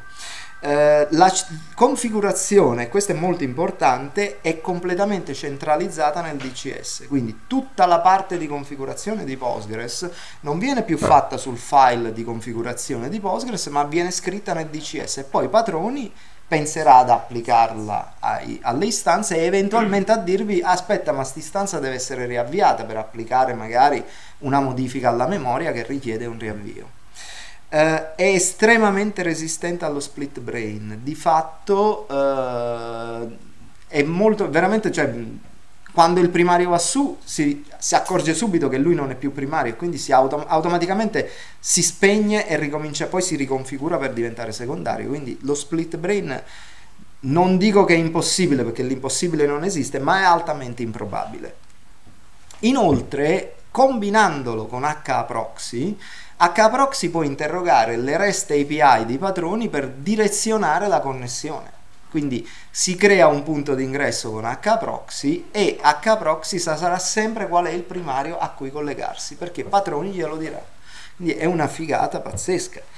Eh, i caveats, eh, eh, ve l'ho appena detto, è tutto gestito da patroni, dobbiamo modificare una configurazione, dobbiamo interagire con patroni, dobbiamo modificare una riga di PGHBA, dobbiamo modificarla su patroni, magari il file di configurazione, ma dobbiamo farglielo fare lui. Se lo facciamo in maniera manuale, patroni sovrascriverà le configurazioni che abbiamo modificato in manuale. Eh, la documentazione certe volte può essere non particolarmente chiara, però devo dire che la comunità, come al solito, è eh, estremamente eh, eh, collaborativa e aiuta tantissimo. In più sta migliorando con il tempo. Diciamo che forse la parte meno chiara che mi ha fatto soffrire tanto è configurazione di eh, uno standby cluster su zone di disponibilità diversa su, su AWS dove avevamo una zona in una regione dell'Europa, un'altra zona in un'altra e quindi avevamo un patroni cluster attivo con un primario e dall'altro lato avevo un set di standby che pigliavano i dati da, eh, dal patrone attivo, pronto in caso di meteorite sulla zona primaria per essere poi promosso a patroni primari. Quindi diciamo che l'idea era quella e ha funzionato molto molto bene, però ci sono stato in pratica un paio di giorni per cercare di capire il, il funzionamento, tutto qua. Eh, un altro svantaggio per certi versi è che il client per interagire con patroni è solo di tipo interattivo, ovvero io devo lavorare, cioè quando faccio la modifica mi apre la diff, devo confermarla e così via. Quindi se voglio automatizzare la cosa o utilizzo SIURL e ci sono un po' di esempi per andare a scrivere eh, sulle REST passa, utilizzando l'Xpost piuttosto che altre cose, oppure utilizzare uno, uh, il, l'URI module di Ansible. Io in quel caso ho utilizzato lo URI, ovvero mi leggo il JSON, perché anche qui parliamo di JSON, mi leggo la configurazione ritornata come JSON, la modifico e poi gliela riscrivo dentro sempre tramite un modulo URI, questo è un, è un sistema. A quel punto tutto funzionato tranquillamente sono riuscito a automatizzare eh, il discorso che vi ho detto poco fa, ovvero le due zone, quindi eh, promozione e eh, magari switchback alla zona eh, di eh, automazione.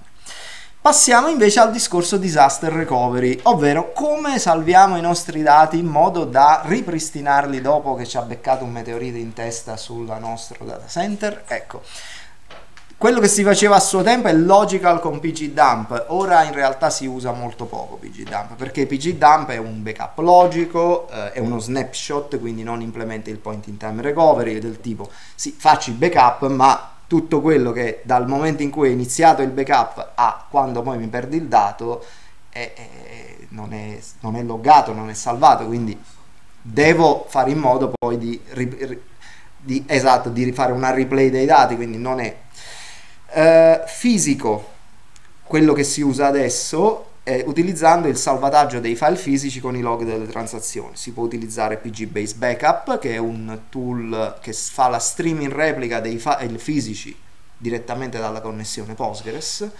Uh, c'è Barman, che è un prodotto fatto in Python, ma non lo amo particolarmente, principalmente perché uh, con, macchine, con sistemi molto grossi tende ad avere molte difficoltà quando, soprattutto in fase di ripristino, fatica tanto. Sì. Uh, Wall-E Wall-G che è l'evoluzione prima Wall-E poi è stato fatto in Go anche questo è interessante ma ha qualche problemino soprattutto quando parliamo di backup da standby e PG Backrest ecco PG Backrest uh, è un tool che nasce in Perl ma poi si è evoluto in C, interessantissima cosa. Eh, è stato sviluppato a suo tempo da una compagnia che se non ricordo male è Crunchy Data, ma adesso è stato passato completamente eh, sotto il controllo della comunità di sviluppo e in realtà sì, rimane comunque l'autore principale, ma adesso la gente ci lavora in maniera molto, molto ed è ovviamente open source. Eh, è un tool di backup fisico, implementa alta disponibilità anche lui, in realtà si può anche configurare per creare degli standby PG Backrest. Eh? però eh, normalmente si utilizza ecco patroni. Quelli, il suo lavoro è disaster recovery. La cosa interessante è che eh, i backup di PG Backrest possono essere anche incrementali e differenziali, quindi di fatto io parto con un backup completo dell'area dati e poi vado a salvare solo quello che viene modificato magari dall'ultimo backup full oppure dall'ultimo backup qualunque esso sia. Quindi vado anche a salvarmi i dati. In più sono compressi, ogni file salvato supporta anche il checksum del, del, file in modo tale da essere sicuri che le copie avvengano, è molto molto solido e supporta anche l'encryption at rest, ovvero si può addirittura criptare l'intero uh, repository con una chiave di criptazione, ora non mi ricordo il, um, uh, l'algoritmo, comunque è una chiave pre-shared sostanzialmente, non niente di sofisticato come eh, GPG per esempio.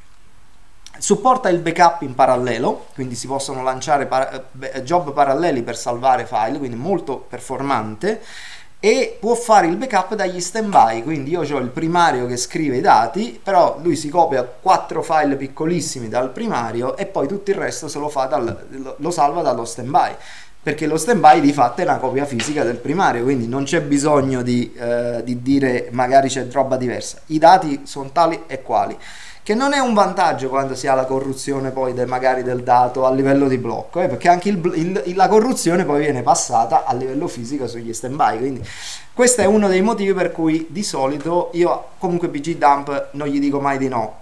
PG dump me lo tengo sempre come proprio piano Z, del tipo se ho corruzione di qualche tipo, almeno una parte dei dati li posso ripristinare a livello logico.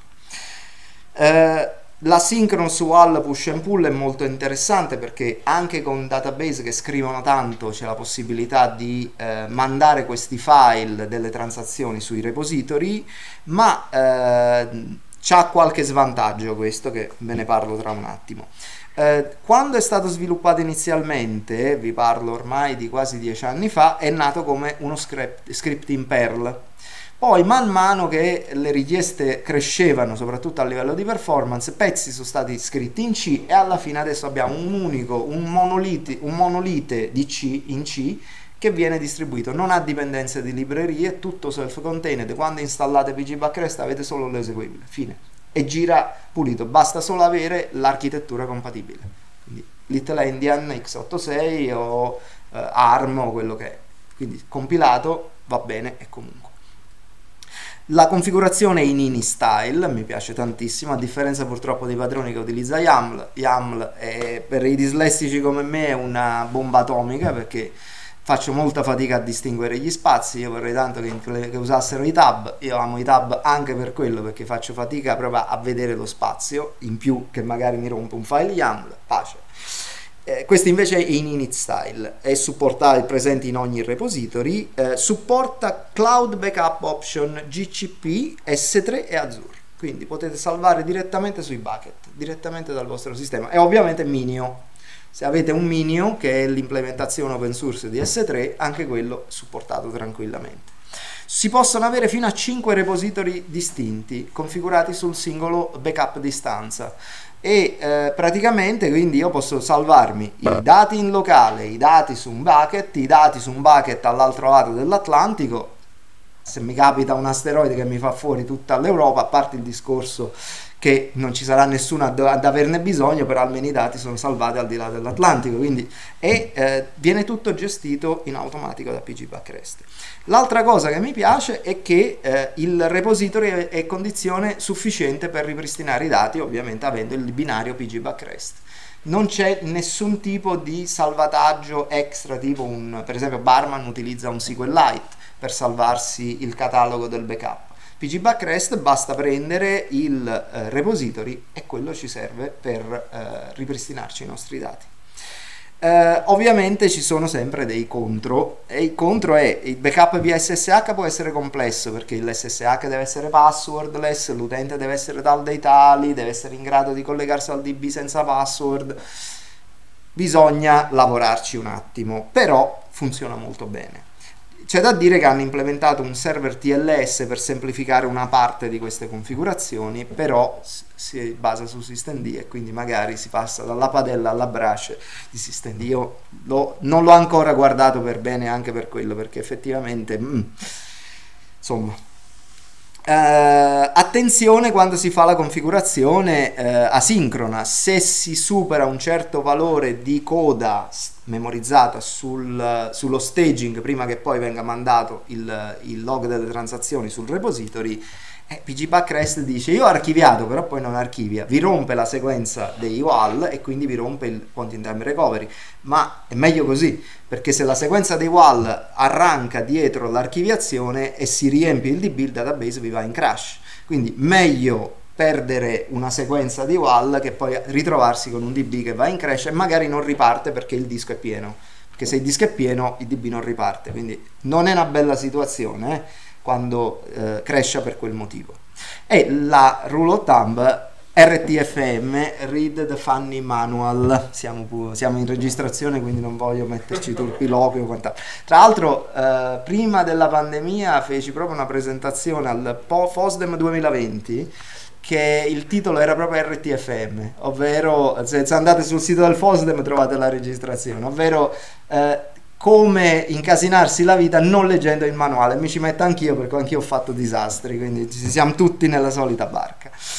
Eh, tra l'altro qui c'è un link a una presentazione di uno degli autori, di uno dei contributor di eh, PG Backrest, Stefan Fercott, questo qui è del Postgres Day Russia del 2018 se non ricordo male, e eh, praticamente lì eh, lui fa spiega un po' di topic molto avanzati di PG Backrest, quindi ve lo consiglio assolutamente, questo è un link, un, un link cliccabile, quindi quando ci sarà poi la, le slide scaricabili lo potete cliccare tranquillamente. Allora, vediamo un attimo come funziona Patroni con, uh, prima di andare poi nell'inferno di PG Backrest. Questa qui l'ho fatto io, quindi insomma, non so disegnare, l'ho disegnato così, con una tavoletta grafica e con, uh, con coso, con, come si chiama, calligra così. Uh, qual è la struttura di patroni questa qui? Che cosa è? Super bias, quindi manca un sacco di roba. Ma l'idea è, io ho tre macchine Postgres che si chiamano patroni 1, patroni 2, patroni 3. Su ogni patroni io ci vado a mettere un nodo etcd configurati per parlarsi l'uno con l'altro perché tre perché eh, devono essere sempre in grado di eleggere un nuovo leader quindi devono essere sempre dispari gli etcd quindi può essere 1, può essere 3, può essere 5, 7, più ce ne sono ovviamente meglio è. Sono tra l'altro dei servizi molto leggeri che possono sopravvivere tranquillamente con il sistema. Su patroni, ogni patroni quindi gestisce un Postgres e configura la streaming replica. La streaming replica è la copia dei blocchi fisici utilizzando la connessione SQL, che è una delle caratteristiche di Postgres introdotta con Postgres 9, ormai almeno 10 anni fa stiamo parlando. Ed è una figata pazzesca perché posso copiarmi i WAL, ma posso copiarmi anche i file fisici. Quindi PG Base Backup, che poi è quello che viene usato di default da patroni per creare le repliche, utilizza proprio questa tecnica, streama i file fisici su una connessione SQL. E questo succede, i WAL, che sono i log delle transazioni, man mano che vengono scritti qui, vengono replicati, prelevati dai vari, dai due DB attraverso la streaming replica e replicati a livello fisico per ogni DB. E tutto va bene perché io ho le connessioni che vanno dentro sto patroni e eh, questo, questi altri due patroni sono lì pronti per diventare primari in caso mi dovessi perdere il primo. E quindi abbiamo in questo caso, tra l'altro c'è poi il link a questo esempio in particolare su GitHub con l'OpenTofu, l'ho cambiato proprio stamattina da Terraform a OpenTofu, per fare la deploy delle macchine e c'è anche un Ansible che fa il lavoro di configurazione di questa roba, quindi ve lo potete guardare tranquillamente. Eh, quindi creiamo tre macchine patroni 0, 1 e 2 e di fatto facciamo la deploy delle macchine, installiamo etcd sui nodi, configuriamo e avviamo etcd avviamo, installiamo Postgres 14, in realtà devo aggiornarla al 16, ma comunque voglio dire 14-16 il sistema è sempre il solito, configurare patroni, avviare patroni e profit. Di fatto, una volta che avete seguito questi elementi e l'Ansible Play che trovate su quel repository fa proprio questo, arrivate alla configurazione completa. Questo qui è un esempio di un OpenTofu per i nodi che praticamente va a fare la deploy, non sto a entrare nel dettaglio, eh, comunque di fatto va a produrre delle macchine in questo caso su uh, GCP, quindi Google Cloud, uh, uh, non mi ricordo mai la P che cosa significa, Rocky Linux 8, poi adesso c'è la Rocky Linux 9, devo dire che sono molto interessanti. Configura anche tra l'altro questa roba qui anche l'SSH config e il repository di Ansible direttamente dai, dagli IPD eh, tirati via dalla deploy di Terraform, quindi molto molto comodo, anzi OpenTofu, eh, configuri firewall e così via. Una volta fatto questo poi c'è l'Ansible che fa il lavoro effettivo. Vi faccio notare anche le porte che vengono aperte sul firewall. In questo caso abbiamo la 22, la 5432, 6432, 8008, 2379 2380. Non sono numeri da giocarsi all'otto, ma Uh, 22 ovviamente SSH, questa è la porta di Postgres, questa è la porta di uh, uh, HAProxy che farà da servizio Postgres o viceversa, in realtà HAProxy ascolterà sulla 5432 e Postgres andrà a lavorare sulla 6432 perché HAProxy idealmente, qui non, non è previsto in questo esempio, però idealmente io lo potrei andare a mettere sulla stessa macchina di Postgres mi collega a una delle tre in maniera assolutamente indipendente poi HAProxy mi manderà sul primario.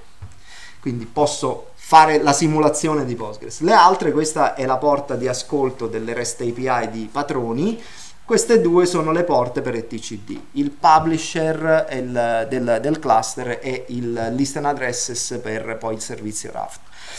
A questo punto eh, configuriamo etcd, questo etcd lav- lavora principalmente come a variabili di ambiente perché SystemD con i file di inizio e di configurazione non è che lavori particolarmente bene, quindi di fatto esportano queste variabili di ambiente e poi lanciano il processo da, dall'unità SystemD, tutto qua.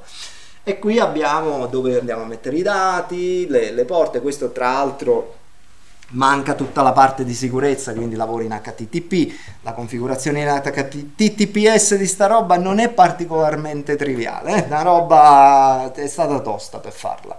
Però ci, so, ci, ci sono riuscito, è stato un cliente che ne aveva bisogno, ma veramente è stato...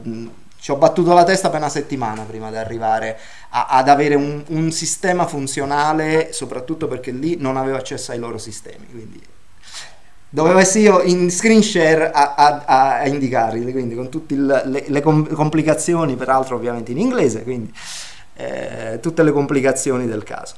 Questa qui è la unit file per avviare l'ETCD, una normalissima unit file che fa lanciare questa cosa. Una volta avviato l'ETCD, sistema tre nodi si parleranno, costruiranno il cluster e a quel punto i tre etcd con questo comando, poi dipende anche dalla versione di etcd eh, perché hanno cambiato anche le API, quindi non è validissimo questo, questo vale credo sulla versione 2 delle API, vi risponderà con una roba di questo tipo, ovvero parlo con tutti e tre i nodi e riesco a scriverci. Una volta fatto questo possiamo passare al nostro amico Patroni, perché Patroni utilizzerà questa roba per scriverci roba dentro. Allora, prima di Patroni però dobbiamo installare Postgres, i binari di Postgres, che nel caso di uh, Ubuntu si tratta di seguire le istruzioni del sito web di Postgres, si installa un, repo, un uh, pacchetto che poi installa il repository, installiamo Postgres 14 o 16 o quello che è, si sono supportate versioni major diverse per singola istanza, quindi io posso avere una 14, una 16, una 15, basta che abbia porte diverse e posso tenerle in funzione senza problemi, e risorse ovviamente. Dopodiché eh, per installare patroni, soprattutto per Rocky 8, è necessario installare la release EPL che aggiunge librerie all'interno dell'ecosistema di Red Hat e poi bana- un banale DNF install patroni, patroni e TCD. Nel caso di Debian cambia ovviamente nel, nel Debian, non c'è la EPL ovviamente in Debian, Debian Ubuntu, basta installare semplicemente patroni, apt-get install patroni dopo aver configurato configurato il repository Debian PGDG, quello lì del gro- Global Group. Se no vi beccate una roba vecchissima, perché sono quelli lì distribuiti poi con la vostra distribuzione.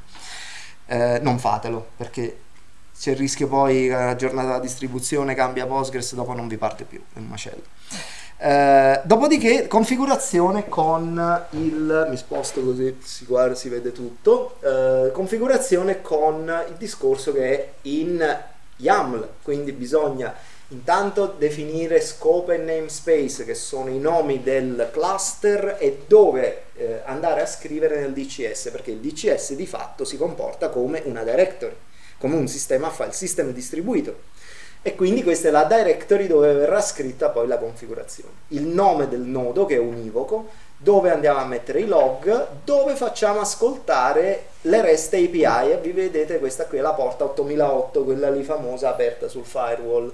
Inoltre etcd può essere eh, sia configurato per lavorare con la versione 3 delle REST API oppure la versione 2. Se utilizzate un etcd nuovo avrete la versione 3, quindi qui andrà specificato etcd 3, altrimenti etcd e basta. Questo è solo per patroni per sapere com- come deve parlare con etcd, vecchio o nuovo, tutto qua. In questo caso etcd 3 e poi si fa la lista degli host che deve andare a contattare su etcd usando la porta 2379, quella famosa sempre aperta sul firewall.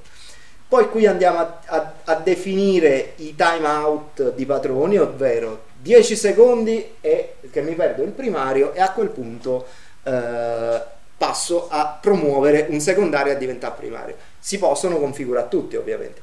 La cosa interessante è che dopo che ho inizializzato il primo nodo di patroni, sta roba non viene più letta dal file di configurazione, ma è scritta nel DCS.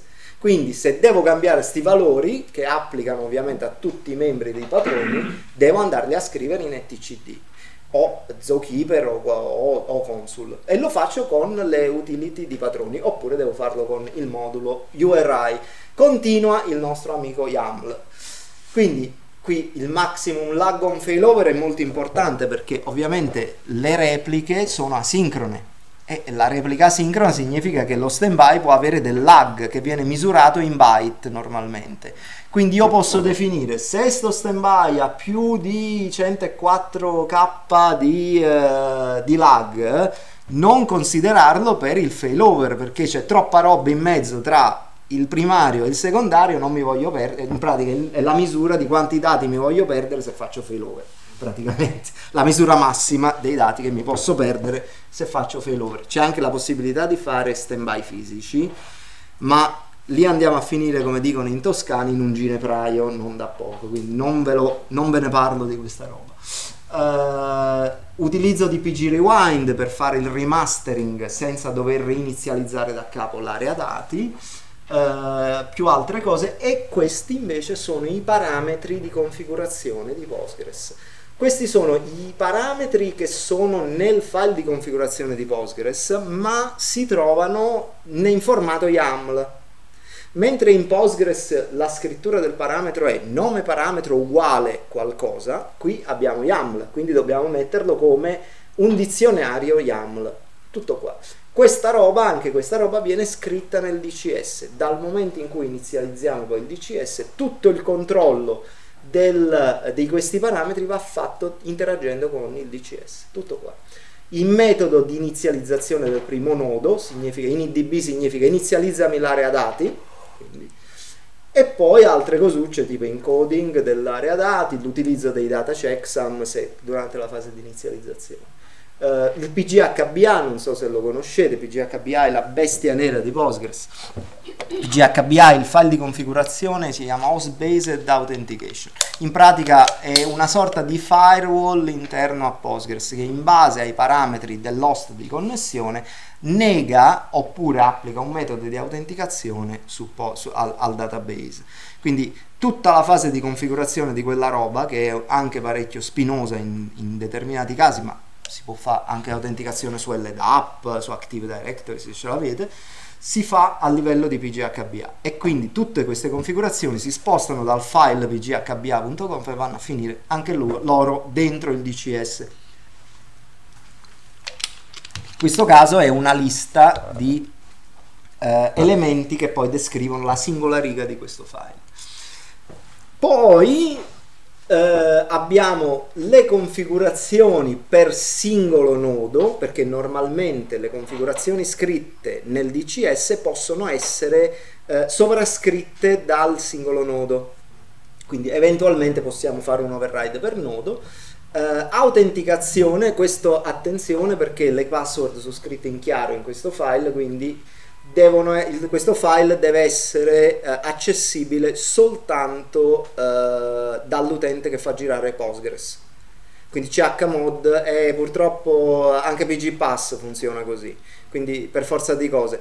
L'unica cosa che si può fare magari si evitano le password qua dentro, si mette un pgpass, un file che automatizza la somministrazione della password a Postgres che è un attimo più sicuro, però comunque il pgpass lo usa anche questo qui, anche Patroni poi alla fine.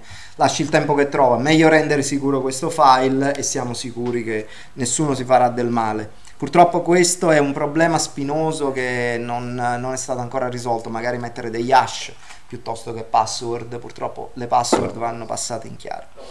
Far- prenderlo da un key vault Eh, allora, prenderlo da un key vault credo che ci sia qualcosa, ma deve essere automatizzato. A livello di PGPass non è implementato purtroppo. Eh, credo che eh, forse le ultime versioni di Patroni dovrebbero averci una roba simile, però va testato. Magari guardatevi per bene un po', magari nella documentazione l'hanno messo. Credo ne avessero parlato di sta roba, ma non so quanto sia stata implementata. Eh, dopodiché ci sono un po' di tag e altre cose, quindi a questo punto creiamo la nostra unit file e eh, con ovviamente questo è semplicemente l'esempio della unit systemd e quindi daemon reload systemctl enable patroni systemctl start patroni. Nel momento in cui patroni è avviato a questo punto che cosa fa patroni? Intanto guarda dove è l'area dati perché tra le tante configurazioni dobbiamo anche dire dal patroni dove vuoi andare a scrivere quest'area dati di Postgres. Se l'area dati è vuota, è vuota patroni dice ok l'area dati è vuota applico il metodo di bootstrap quindi fa girare initdb si collega a etcd, scrive il token del primario dentro etcd e ogni tot rinfresca questo, fa un refresh di questo token. Quindi è sempre patroni che scrive in etcd. Quindi se io mi perdo il primario, non è che perdo anche il metodo di controllo del token, semplicemente il token eh, scade, tutto qua. Ed ha una vita molto breve, 10 secondi di default. Questo punto con il comando patroni ctl passando il patroni YAML di configurazione lancio il comando list, lui legge l'REST API e mi fa vedere che c'è un leader running con un po' di informazioni tra cui la timeline che è la, eh, sono roba alla Doctor Who. Quando avvio poi il patroni sugli altri standby, sulle altre macchine, la- le macchine cercheranno di acquisire il loro token perché inizialmente avranno un'area dati vuota ma trovando già il token occupato da patroni 1 diranno ok io divento una replica. Diventando una replica a quel punto lanciando il comando pg base backup streamano i, fi- i blocchi fisici dal patroni 1 al patroni 2 si auto-inizializzano e diventano repliche con lo stato di running e qui ti fa vedere anche il lag in megabyte rispetto al primario quindi man mano che il primario scrive questi valori ora sono zero perché sono degli esempi ma quando ci si scrive dati questi valori di solito sono leggermente diversi da zero. Non tantissimo ma magari c'è sempre un po' di lag di, eh, di rete.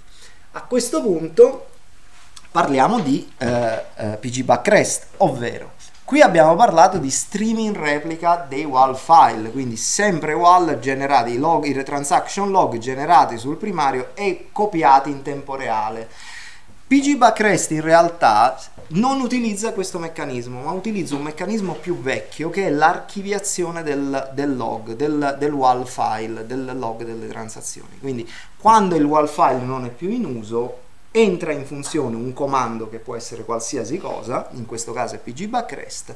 PG Backrest prende quel WAL e lo copia all'interno del backup repository, facendoci delle cose, comprimendolo, controllando il checksum. In questo caso, in questo esempio, viene scritto in un GPC bucket, quindi in una- un bucket di rete.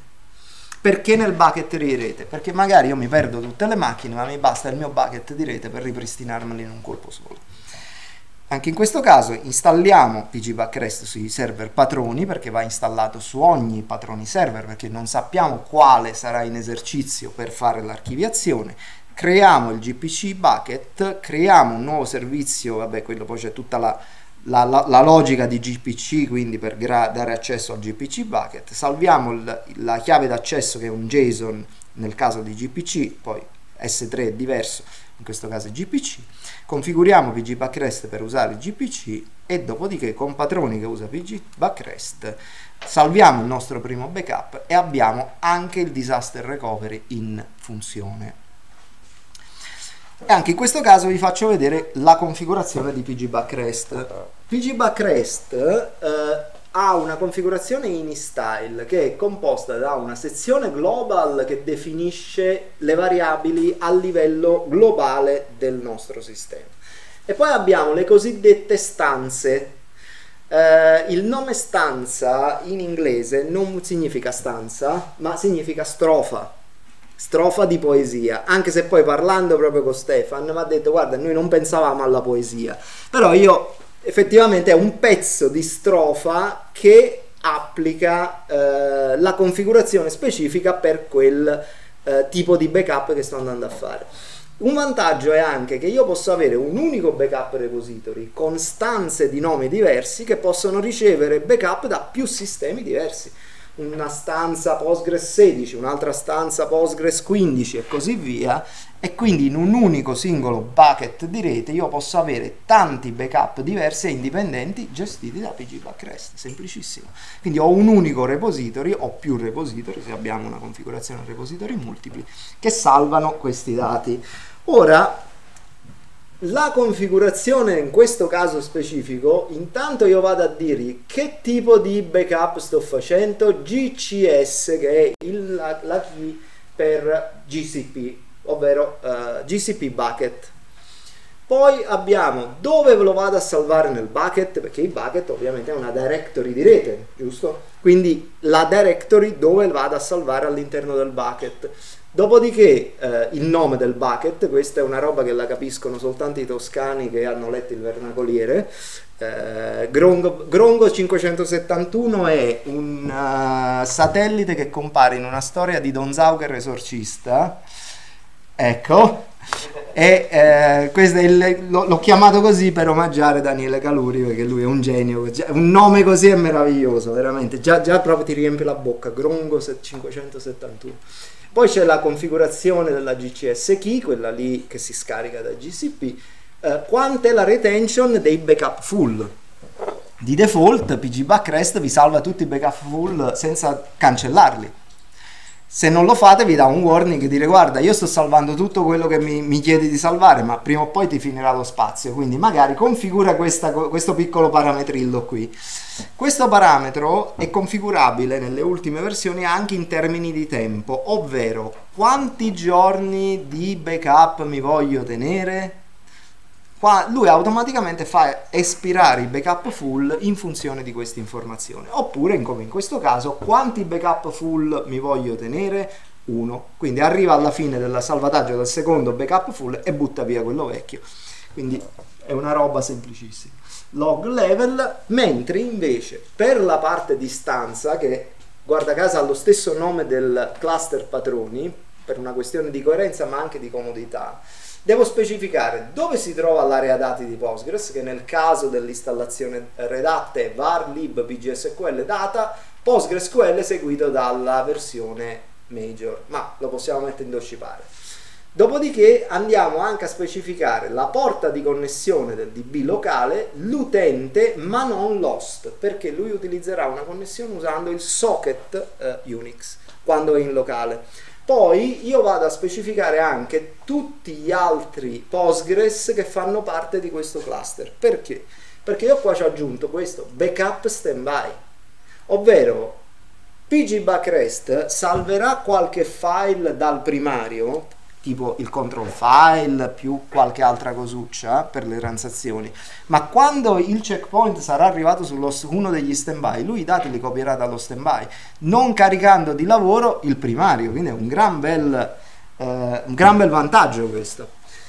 Quindi qui io vado a specificare tutti gli standby, tutti, tutti i cluster, tutti i data, tutte le istanze presenti. L'unica rottura di scatole è che l'istanza locale non deve avere l'IPG host quindi dovete fare attenzione quando siete in locale, se no dà errore. È fatto così, è fatto per collegarsi con lo Unix socket. Però magari le ultime versioni sono diverse, è un po' che non lo guardo um, in questo particolare dettaglio. Il mio script Ansible riconosce qual è il primario, qual è il locale ed esclude semplicemente dal template uh, l'host. Dopodiché uh, per evitare di metterci le password all'interno di, dei file di configurazione, ecco, io utilizzo uh, pgpass. pgpass è un file che viene utilizzato da Postgres per fornire le password. Anche in quel caso è una roba che va purtroppo in chiaro, però non viene utilizzata a meno che non abbia il chmod 600, quindi eh, diciamo che ci impone eh, la sicurezza almeno su quel file. Dopodiché eh, nel file, vabbè in questo caso io vado a creare il file JSON in modo tale che poi pgpackrest lo vada a trovare, quindi conterrà delle informazioni, delle chiavi e quant'altro, passiamo tranquillamente avanti. Dopodiché a questo punto io devo dire al mio patrone che sta funzionando come voglio archiviare questi wall file ma io patroni non posso andare a modificare i file di configurazione a mano, devo farlo tramite il client di patroni o farlo con la SIURL. In questo caso lo facciamo col client di patroni e lanciamo il comando patronictl con il file di configurazione, lo stesso che abbiamo visto prima, con il comando edit config. Lui aprirà il vostro editor di preferenza 99% è nano, dei, casi è nano purtroppo, io lo disinstallo all'istante appena ho una macchina operativa, io lavoro con VI, anzi VIM, c'è un amico che lui si occupa di eh, FreeBSD, lui usa VI, vecchio stile senza neanche di improvement di VIM, io sono un attimo meno radicale però voglio dire, nano proprio non ce la faccio, appena lo vedo mi pum, subito CTRL X ed esco. E quindi vi apre il vostro editor e vi fa modificare la configurazione, dopodiché una volta salvata la applica. Quindi quello che vado a fare nel mio caso è Uh, mettere nei parameter di Postgres l'archive command con pcbackrest stanza flin, quella che ho nella configurazione, archive meno push, che significa salvami il WAL file sul repository, e il %p è un marcatore che viene eh, sostituito da Postgres con il nome del WAL file che vuole archiviare, quindi viene fatto dinamicamente poi dal processo Postgres. Dopodiché controlliamo che eh, dobbiamo creare la stanza, quindi lanciamo questo comando, ovvero creare la struttura del repository all'interno del GCP bucket e lo si fa con questo comando pgbackrest meno meno stanza flin, stanza create. Ora vi ho dato un po' di verbosità in più nel log, in realtà è molto scarno, lui parte, poi vi ritorna ok ho fatto, oppure vi dà un errore eh, a questo punto mi dice la stanza è stata creata e a questo punto possiamo lanciare il backup con un banale pg backrest meno meno stanza flin backup. Lui farà quello che deve fare e alla fine di tutto farà anche l'archiviazione dell'ultimo wall e vi dirà sto anche facendo girare l'expire di eventuali full backup che poi devo eliminare. Alla file della fiera quando io vado a lanciare poi il comando pg backrest info lui mi farà vedere lo stato del mio backup con i WAL file archiviati per mantenere questo backup vivo eh, con il point in time recovery, quindi ripristinabile all'ultimo istante salvato in, con i WAL, quindi 16 megabyte al massimo si perdono in questa logica perché i WAL sono di quella dimensione lì, ma la cosa interessante è che il backup che un'istanza vuota è di 25 megabyte è salvato in 3 mega e 2 perché lui comprime quindi sa un vantaggio non da poco.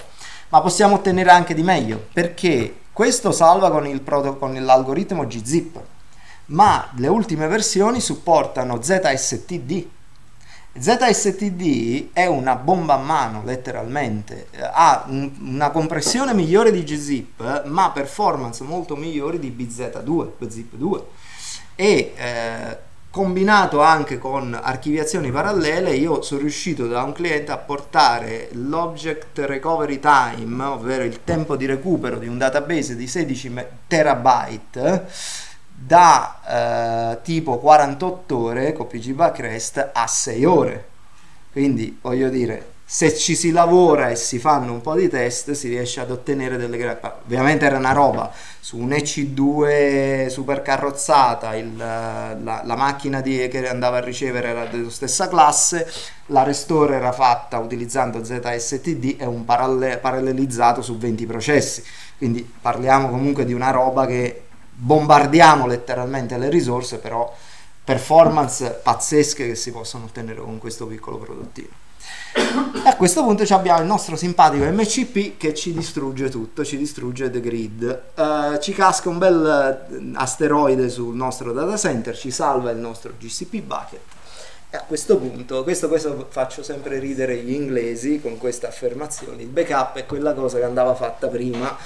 Ecco, questa è la, la- la- la frase che dovreste, veramente ce la dovremmo tatuare addosso, come tipo sul braccio, così la possiamo leggere costantemente. Eh, il backup eh, è quella cosa che andava fatta prima, ma che cos'è un backup? È un salvataggio di dati, ma è anche il test che i dati siano ripristinabili ed è anche un salvataggio dei dati che non sia sul solito sistema o sul solito data center, è un salvataggio off-site, quindi è un insieme di cose, non è che dici eh, vabbè ho salvato, ciao, addio. Ma Abbiamo perso sti dati, abbiamo salvato i dati off-site, abbiamo fatto i nostri test e siamo ragionevolmente sicuri di poter ripristinare il nostro backup, quindi non abbiamo il cosiddetto backup di Schrödinger.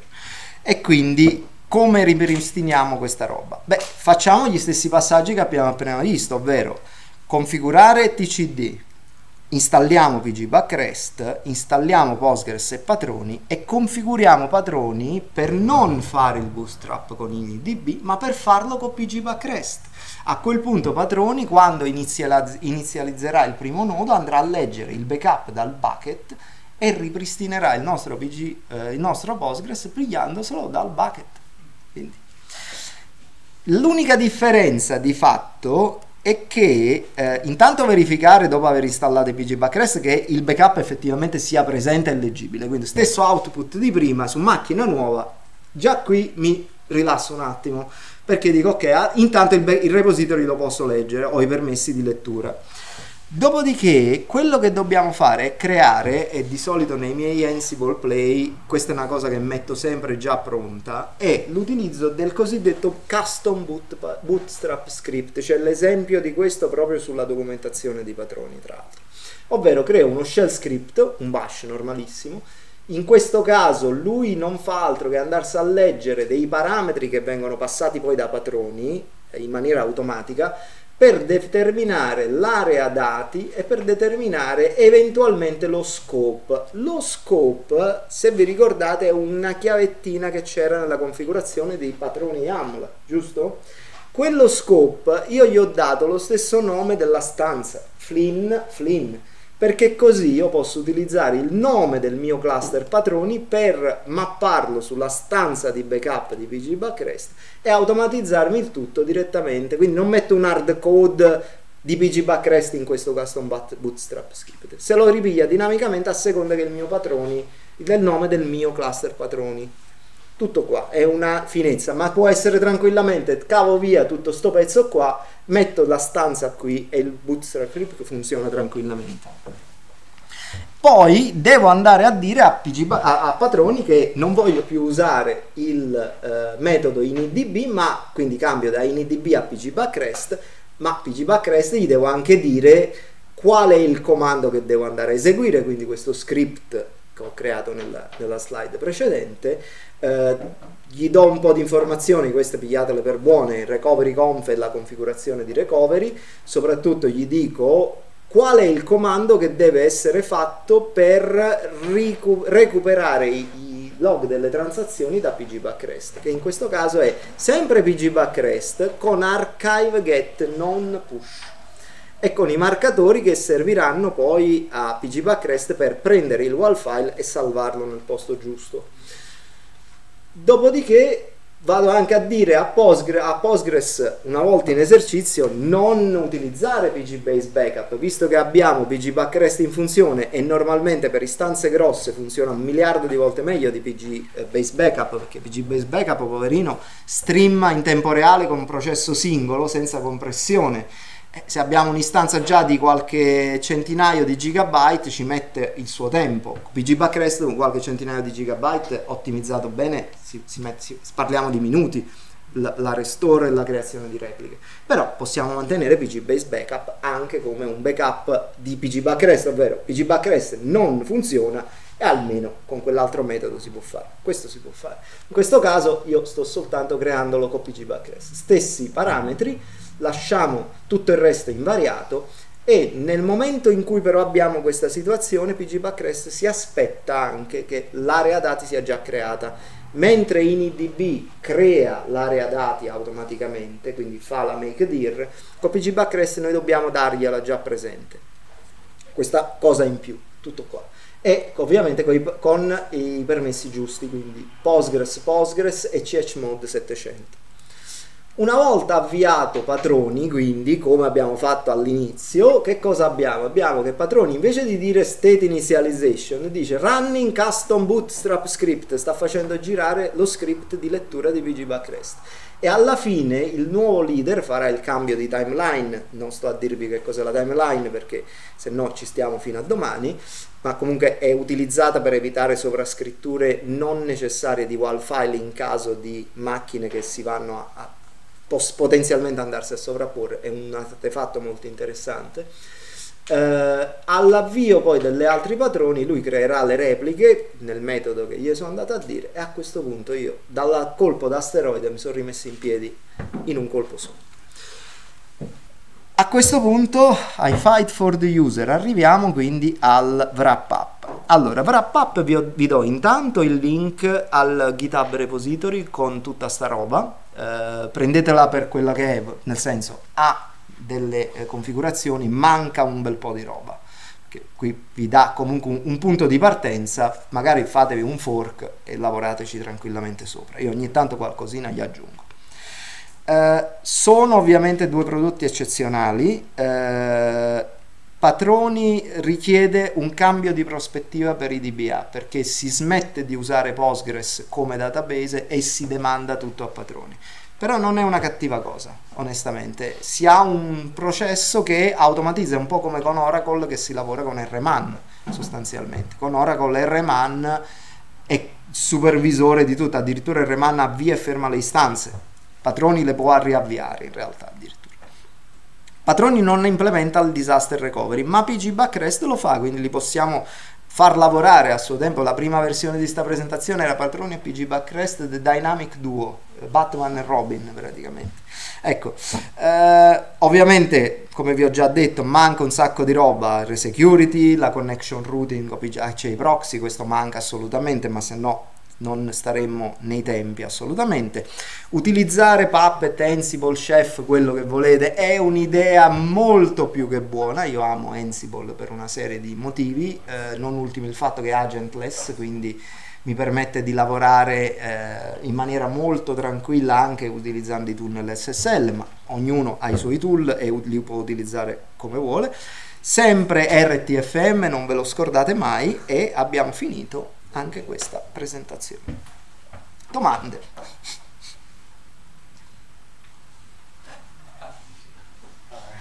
Usatelo. Poi dopo le facciamo le domande quando lo usi. Esatto. Comunque credo ci sia, sempre parlando di libera chat no, su IRC, eh, credo che ci sia proprio il canale patroni dove trovate gli sviluppatori. Ora, lo sviluppatore principale eh, credo che adesso sia anche lui lavori per Microsoft. Eh, Microsoft si sta portando in casa i migliori. Eh, prima o poi magari eh, gli manderò un curriculum. Se mi scoccio di fare il consulente potrebbe essere interessante, perché comunque anche per, per lavorare con gli amici. Anche perché fanno parecchio lavoro da remoto ultimamente anche loro. Eh. Quindi bene o male ce l'hanno un po' sparpagliati. E il- lo sviluppatore dei patroni adesso sì, Alexander Kukuskin, eh, lui è di Berlino. Quindi anche lì eh, i team sono assolutamente internazionali, è una roba che effettivamente... sì. Diciamo l'inglese è lingua franca assolutamente. Allora, adesso, visto che vi ho sdraiati per bene, passiamo alla parte, come diceva Benigni, finisci il ludico, comincia il... no, finisci il, il sociale, cominci il ludico. Eh, dovrebbe esserci bombo, una cosa del genere, se non ricordo male. Eh, non, non sono così ferrato con Benigni, diciamo Benigni si ferma a tutto Dante e eh, non ci resta che piangere. Quello cre- credo che sia uno dei film più alto della storia del cinema italiano. Questa è la mia, eh, la mia eh, pers- opinione personale. Allora, eh, Qualcuno, è, qualcuno vuole un po' di, caffè, dovrebbe essere ancora bevibile. Di- ah, c'è del caffè? Del caffè. Ah, guarda, eh, quello potrebbe essere un'ottima idea visto che Si sarà un po' raffreddato.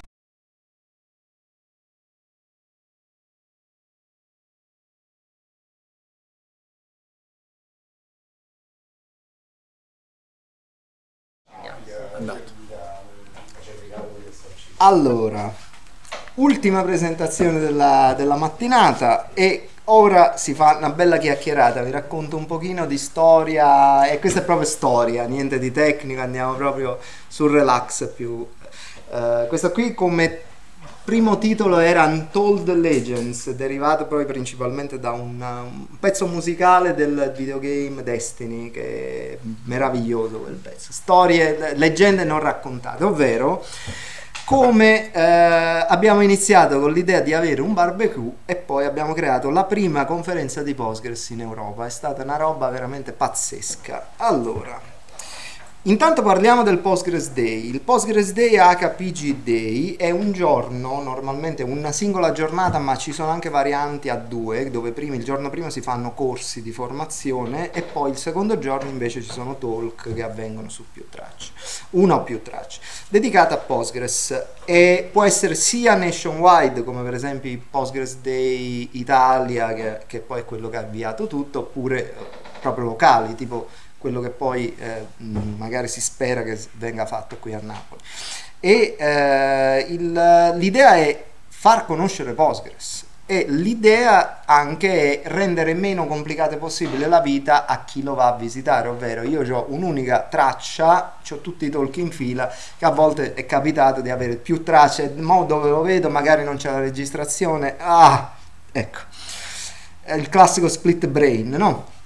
E anche il costo, normalmente una conferenza come Postgres, la Postgres Conf europea che si articola su sei giorni ormai, perché sono tre giorni di talk più uno o due giorni, forse due giorni di, di formazione, credo, almeno quattro giorni sicuro.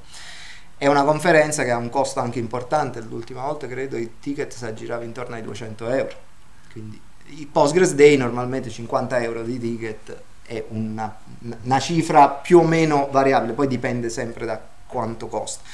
Eh, e quindi l'idea è anche renderlo più accessibile alle persone. Eh, ce ne sono tantissimi in giro adesso nel mondo. Il FOSDEM PG Day, quello che avviene il giorno prima del FOSDEM a Bruxelles, eh, il PG Day Amsterdam, il PG Day di Santiago in Colombia, PG Day San Francisco, PG Day Chicago che si è concluso proprio da pochissimo, eh, in New York City che ci sarà eh, a breve a, a settembre se non ricordo male.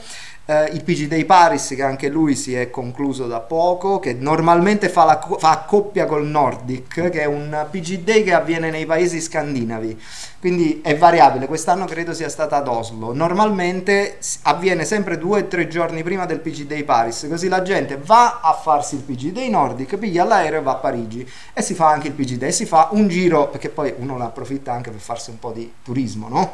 Quindi vai a, nella città del nord, ti incontri con gli amici, poi pigli tutto assieme l'aereo e vai a Parigi a fare un altro giro di eh, talk, di comp- poi ti fai anche il giro a Parigi che è una bella città.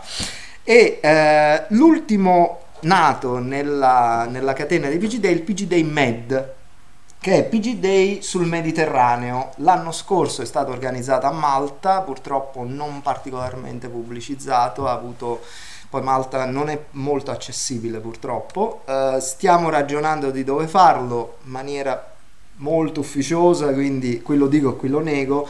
Si potrebbe fare qua a Napoli e quindi eh, sarebbe una grandissima bella roba. La mia speranza è che se poi, si, dopo aver fatto questo, perché poi è itinerante, se poi lo riusciamo a rendere annuale, quindi ogni anno facciamo il PG Day Napoli eh, sotto il cappello di Postgres Europe che Postgres Europe si fa carico di tutta la parte burocratica, contrattuale e quant'altro, quindi tutta la parte di complessità, di contratti, di pagamenti, perché poi i fondi ce li mette Postgres Europe, potremmo fare una bella roba e renderla, eh, come dire, permanente, che a Napoli gli farebbe soltanto bene, oltre all'Italia, perché al momento purtroppo non c'è un PGT italiano nazionale.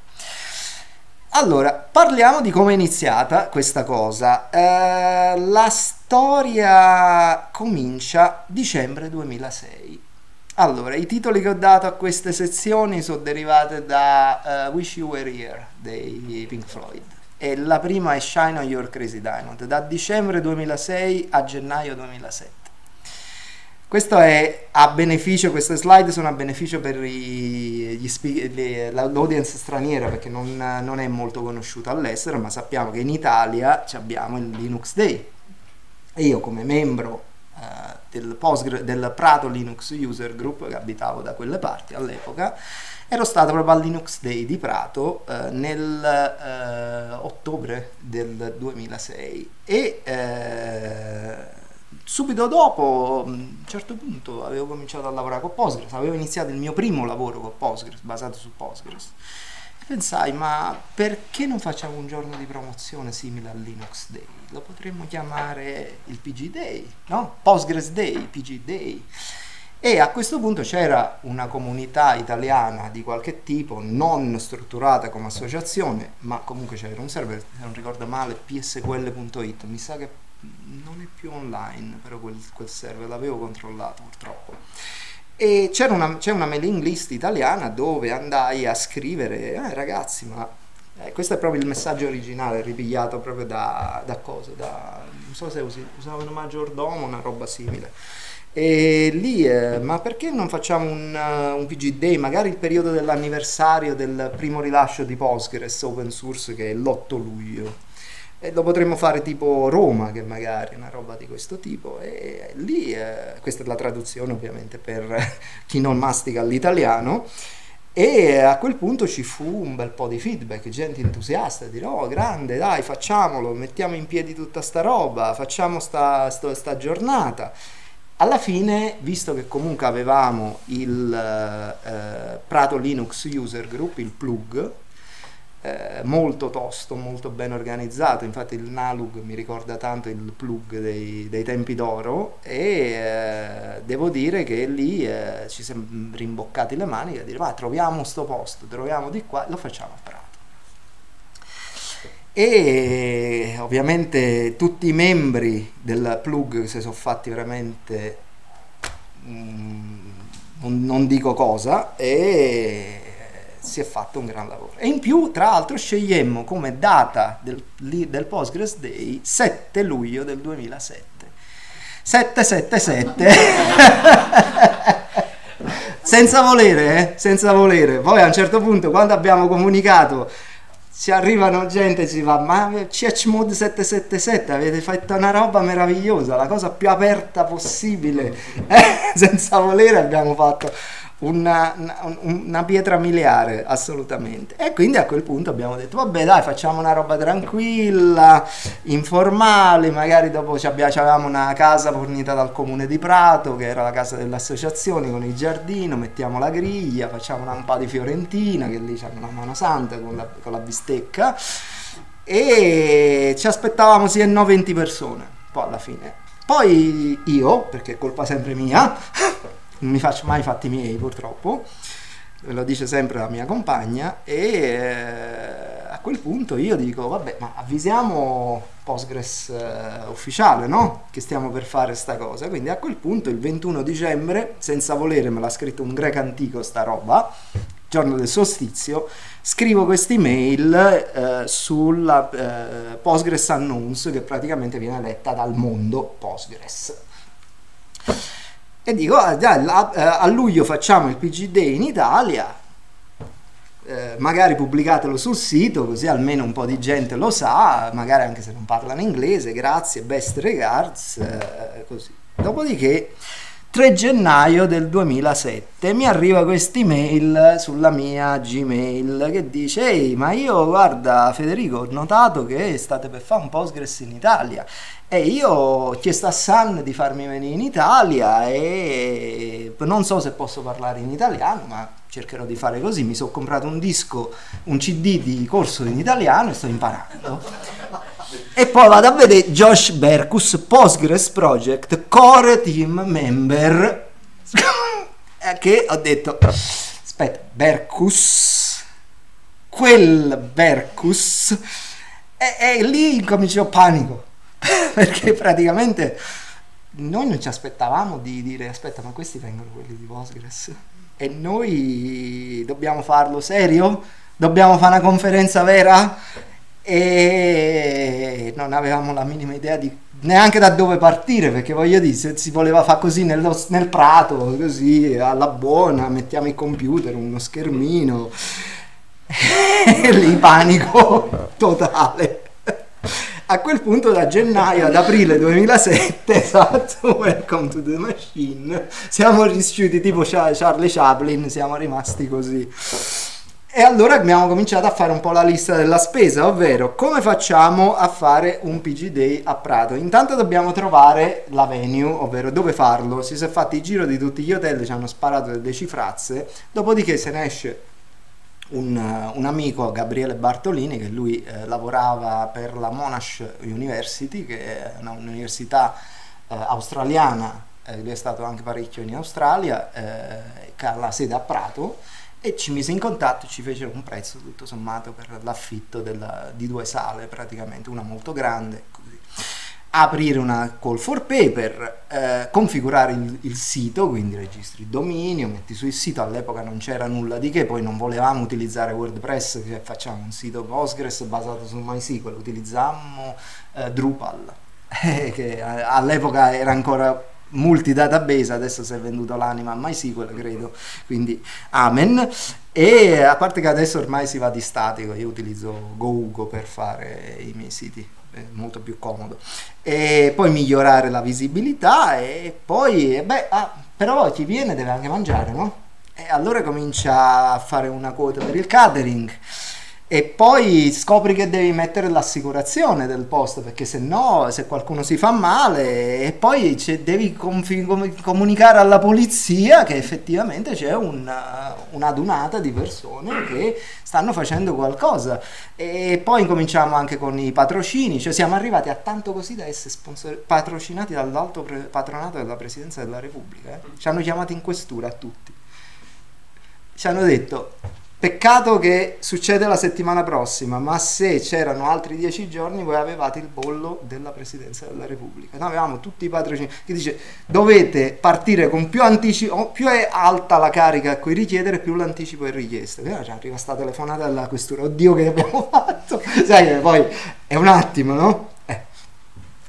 E poi a un certo punto c'è cominciato il brainstorming, ma perché visto che abbiamo persone mixate, mettiamo le traduzioni in tempo reale, abbiamo messo le cabine con le cuffie a infrarosso, con, le- con i traduttori che traducevano dall'italiano in inglese e dall'inglese all'italiano, così tu potevi seguirti i talk eh, così. E poi gli hotel per fare eh, eh, le, ehm, eh, le quote di, di hotel scontate. Tra l'altro alla fine del, del Postgres Day ci arriva una pianta enorme alla sede del plug che era l'associazione albergatori di Prato, gli avevamo riempito gli hotel di sei mesi praticamente, gli avevamo fatto fare i soldi di sei mesi in una settimana praticamente, ci, anco- ci stanno ancora ringraziando, quindi anche questo è importante perché è un indotto non da poco, porta persone in- nei posti il Postgres Day quando è ben eh, configurato e ben eh, pubblicizzato.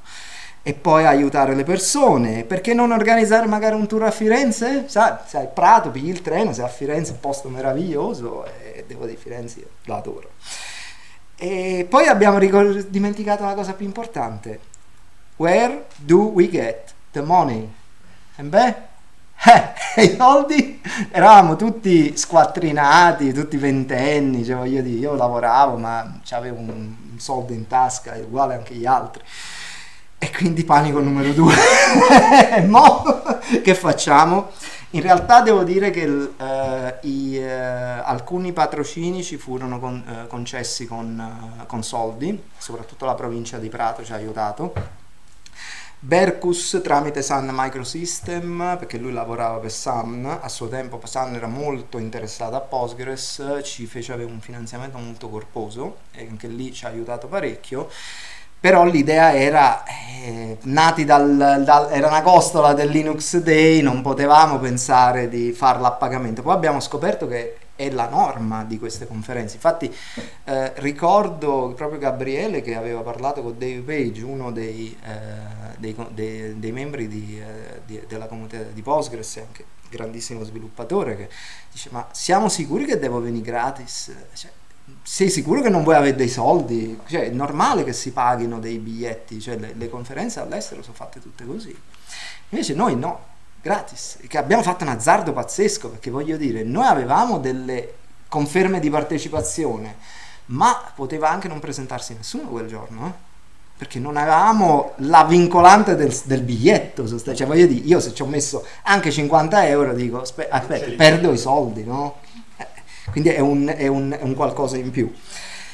E poi abbiamo dire sì, questo è un'immagine, uno screenshot del primissimo sito, mi sposto un attimo così, questo qui è il, la, la sua, la, nella sua bellezza il Drupal originale del Postgres Day originale, tra l'altro tradotto in, sia in italiano che in inglese, perché ovviamente avevamo anche gente che veniva dall'estero. E quando man mano dopo Berkus si è cominciato a spargere la voce abbiamo cominciato ad avere Oleg Bartonov l'autore di Edge Store Jason e Full Tech Search Josh Berkus già sopracitato David Fetter grandissimo sviluppatore eh, o nonché mio caro amico che poi lì ci sono nate delle grandi amicizie devo dire e lui eh, è l'autore eh, del eh, Perl DBDI e anche credo di, eh, del della base del foreign data wrapper del DB Link di Postgres, cioè gente che veramente mastica il C come, eh, come da masticare, cioè è una cosa meravigliosa.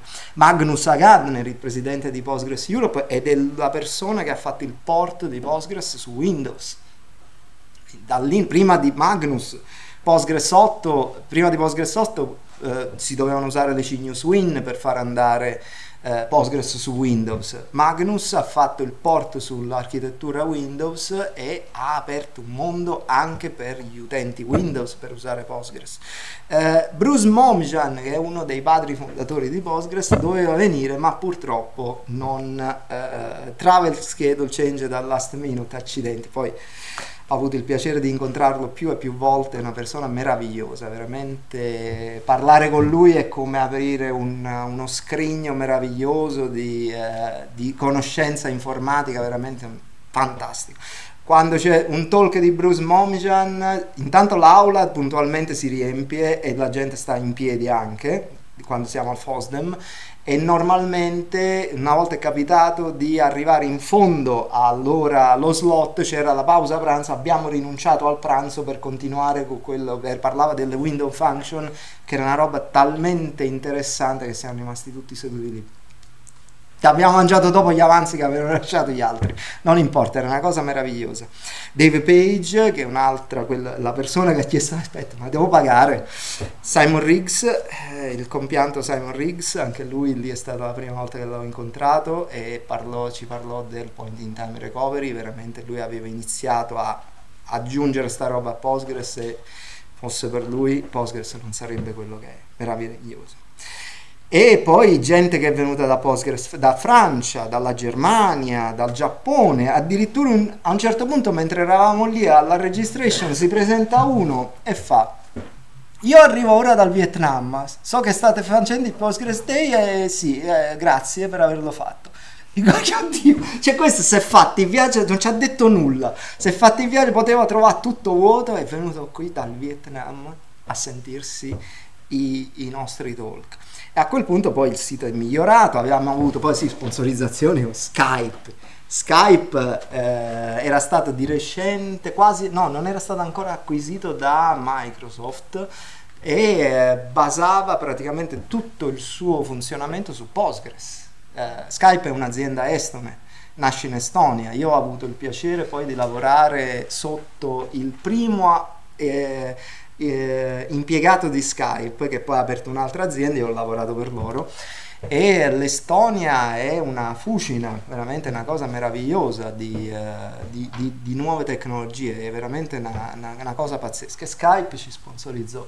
E questi poi sono alcuni degli sponsor. Poi abbiamo Skype, la compianta Sun Microsystem, che purtroppo eh, prima aveva, fatto, aveva investito su Postgres, poi eh, cambiò idea e andò su MySQL, acquisì MySQL e io credo che lì sia stata veramente la, la martellata nell'ultimo chiodo nella bara perché poi lì purtroppo è andata a gamba all'aria e pace, peccato. Eh, so- SA Software, SRL, questa qui credo che ci sia ancora in giro. E poi questa Engineering, Federe Impresa, Computer Programmi che ci portò i, i- eh, i libri in, in regalo, Dalibo che è un'azienda che è ancora in giro, è francese, questa qui 1600 di Chris Mayer, Negence, questo qui sono io, io avevo la mia, eh, la mia società dittini dittini individuale che ha detto ma io quasi quasi mi butto. Postgres sta crescendo tanto, quello è stato un azzardo brutto perché poi non è andata benissimo. Era ancora troppo eh, prematura la cosa. E eh, queste qui, XCon, altre così. E questo sono io preso nella mia bellezza di eh, fumatore di sigaro, ora ho smesso di fumare tra l'altro per fortuna, ottima cosa, all'aeroporto di Bologna. E poi, poi cominciò il lavoro serio, finita la parte difficile, la parte dura è cominciata la parte difficile. Pigliare tutte le singole fila di tutte le cose che avevamo messo in cantiere e farle arrivare al PG Day. Tra l'altro poi man mano che le cose andavano avanti ci si spargeva la voce e venimmo intervistati da Free Software Magazine eh, riguardo proprio al PG Day. Eh, sulla Wayback Machine eh, c'è la pagina eh, di, di questa intervista e lì cominciò l'idea di avere un eh, Postgres User Group europeo. Lì praticamente, eh, questo è, è lo screenshot della pagina della Wayback Machine, ma ho estratto due parti, una di Susanne Brecht, che lei era membra del eh, gruppo PUG, Postgres User Group Germania. L'idea era proprio eh, alla base di Postgres Europe è lo stesso concetto che c'è alla base dell'Unione Europea, ovvero insieme attraverso la diversità tante culture diverse che si incontrano, costruiscono un bene comune e fanno da cappello poi alle associazioni nazionali, quindi al supporto dell'associazione nazionale.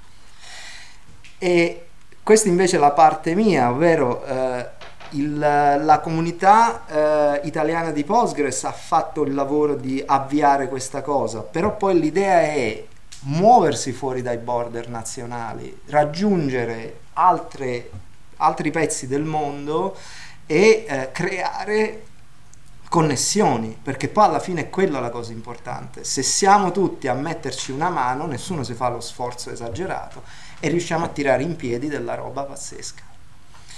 E arriviamo al- ai giorni epici del 6-8 luglio. Qui in realtà sono per lo più immagini eh, che vi racconto un attimo. Questa qui tra l'altro è l'immagine, questo è Gabriele Bartolini e lui è un musicista, gran, gran chitarrista e questa gliela presi, questa foto gliela scattai perché ho fatto anche fotografia, foto analogica, mi piace tanto. E eh, questa la scattai a Montemurlo, vicino Prato, se non ricordo male, che era un concerto dopo che avevamo finito il PG Day e quindi c'era sta cosa, andammo tutti assieme, ero sul palco e facevo le foto. E questa qui mi piace molto perché voglio dire, è, eh, Avrei voluto, vorrei che Wish You Were Here perché è stata veramente una cosa, ancora mi commuovo se ci penso.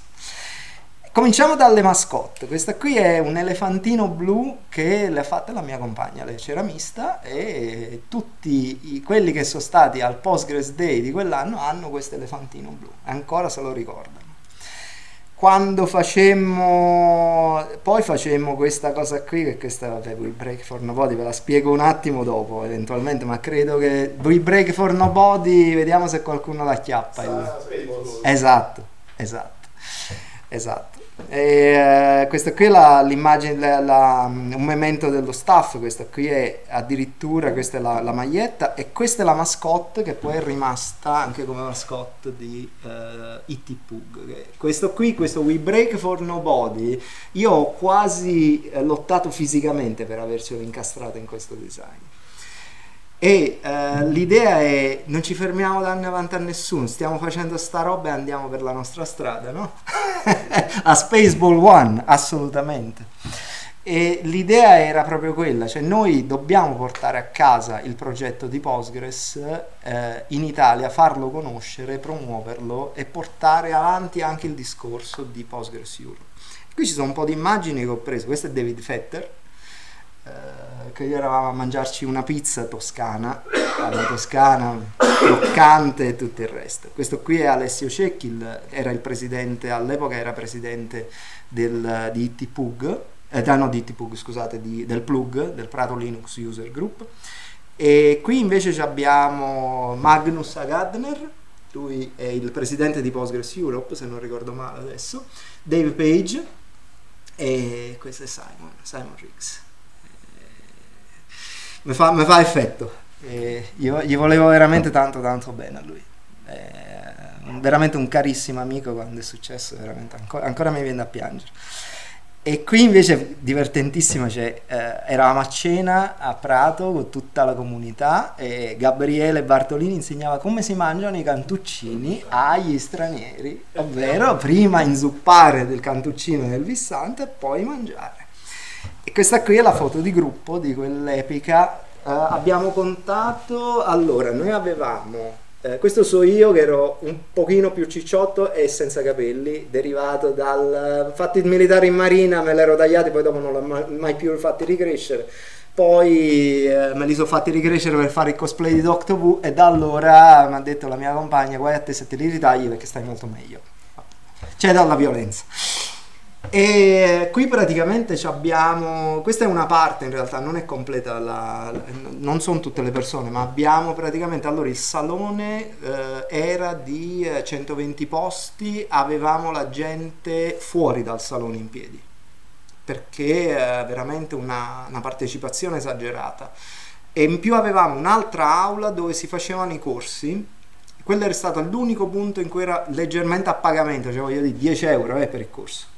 E c'è stata gente che ci ha anche criticato che eravamo la vergogna dell'open source perché ci pigliavamo dei soldi.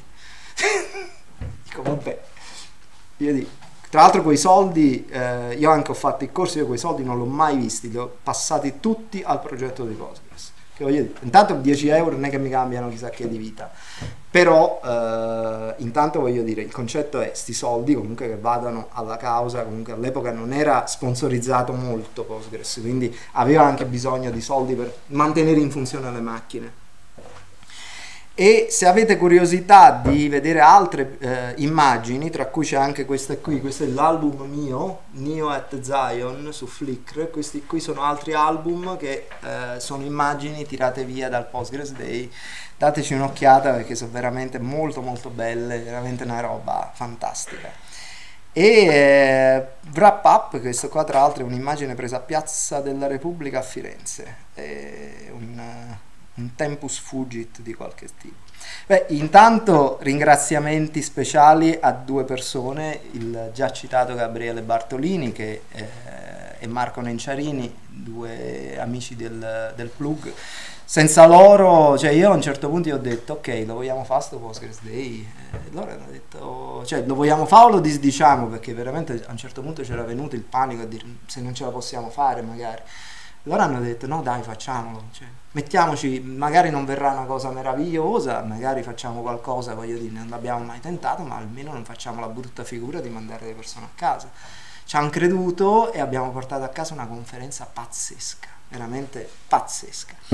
E un altro ringraziamento a Claire Giordano di Microsoft, anzi Citus DB, che però è parte di Microsoft. Lei eh, mi ha ispirato per fare questa presentazione al FOSDEM eh, con questo Fibonacci Spirals e 21 modi per contribuire a Postgres. Ha parlato proprio del PG Day, lei non sapeva che io fossi quello che aveva avuto l'idea del PG Day. Quando ci ho chiacchierato mi fa, ma senti, ma te dovresti fare una presentazione e infatti l'abbiamo tirata. L'ultima cosa, l'ultima, questa tra l'altro c'è anche la, la, traduzione per i non anglofoni, è il motto dell'Americo Vespucci, una nave a cui sono particolarmente legato perché il mio babbo ha fatto il militare sulla Vespucci, io marinaio anch'io, marina militare, quindi tutta la famiglia è marina militare, quindi un legame molto forte. Non chi comincia ma quel che persevera, perché poi alla fine io con i miei amici tutto quel gruppo lì abbiamo avviato qualcosa e adesso persevera, cresce e abbiamo una roba pazzesca. Ora vediamo se riusciamo a portarlo a Napoli, sarebbe una grandissima cosa e sarebbe un, un regalo che posso fare anche da napoletano all'estero alla mia città, sarei molto contento se riuscissi a farla questa cosa. Quindi speriamo, ci crediamoci, speriamo che si possa fare. Dai. E questo è tutto. Vai.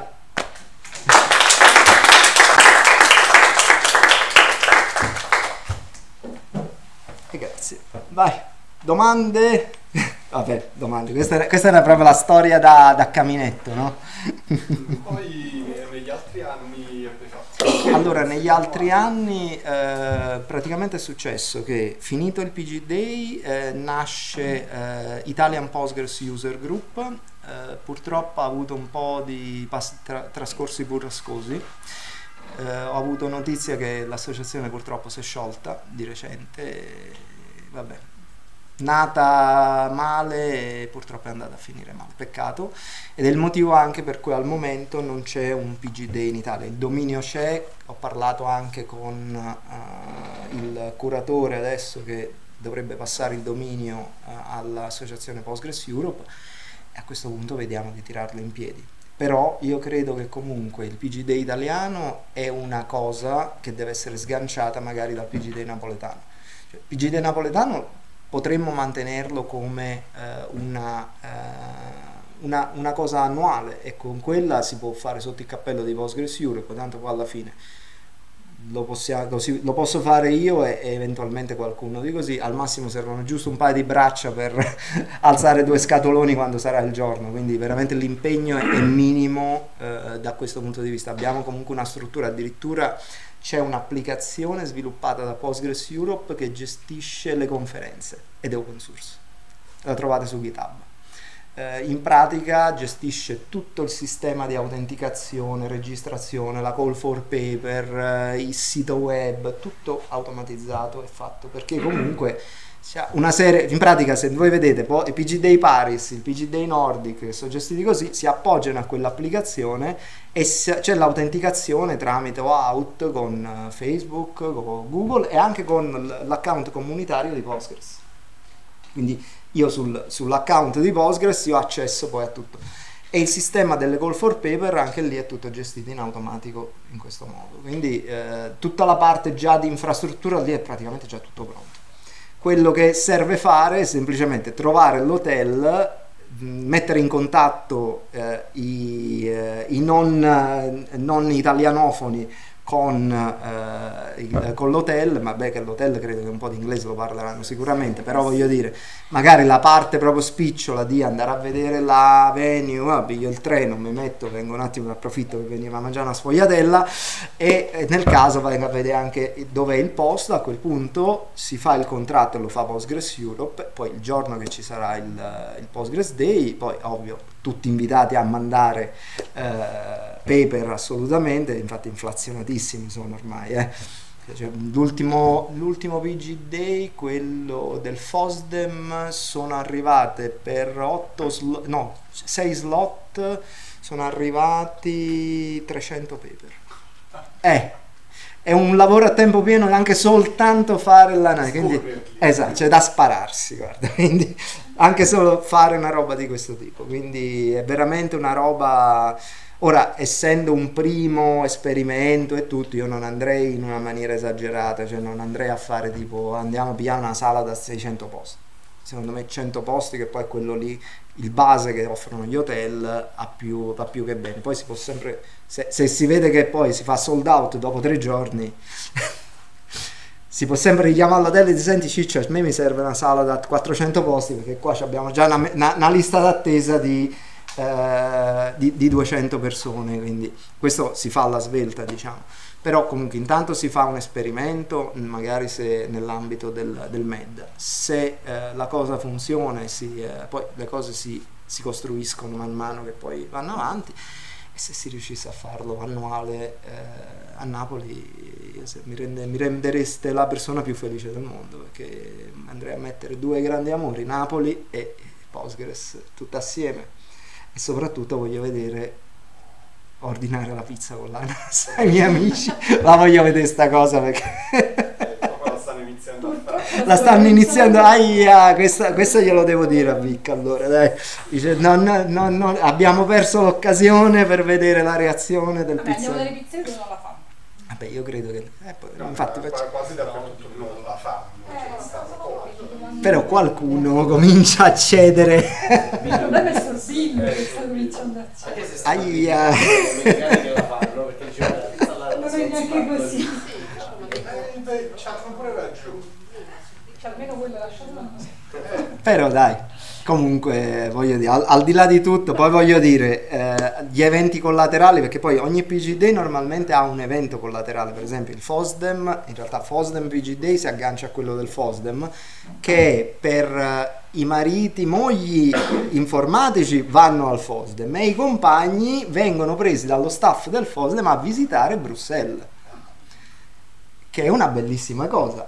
Mariti e mogli vanno al PG Day e il resto magari visitano Napoli, la Napoli sotterranea. Questa è una roba che si può organizzare tranquillamente perché voglio dire, basta sentire magari delle agenzie che si occupano di, questi- di queste cose e organizzare magari un tour durante la giornata, quindi si- ottiene un doppio risultato e quant'altro. Quindi eh, diciamo che eh, i- gli hotel che avevo iniziato a guardare quando mi era stato accennato sta cosa proprio in maniera che poi l'avevo detto anche a Marco eh, proprio la sera che mi era stata detta era, era al Fosdem quindi era la cena di Postgres del Fosdem era stato accennato. Quindi ho detto ah, grande e quindi avevo cominciato. Ce ne sono tipo due o tre hotel nella zona di centro storico che hanno eh, delle, delle buone sale e che hanno anche delle ottime, un'ottima recensione e. E che potrebbe essere interessante perché poi, voglio dire,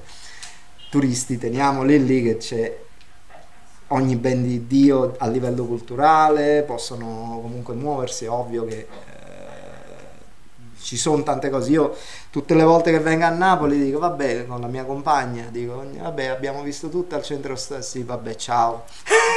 E ce ne sono altre mille da vedere. Cioè io sto scoprendo Napoli da turista da eh, più di- degli anni che ci ho vissuto. Io ho vissuto qui fino al 99 dal, eh, e, non, non- non- mi sono reso conto di, di che cosa è Napoli fino ad allora Pure se verso l'area fregrea ci stanno... Ah, eh, vabbè, eh, andiamo soltanto nella zona di Cuma e lì, e lì, cioè lì parliamo, poi se andiamo con persone che vengono dagli Stati Uniti che lì hanno la roba archeologica per loro è vecchia di 200-300 anni.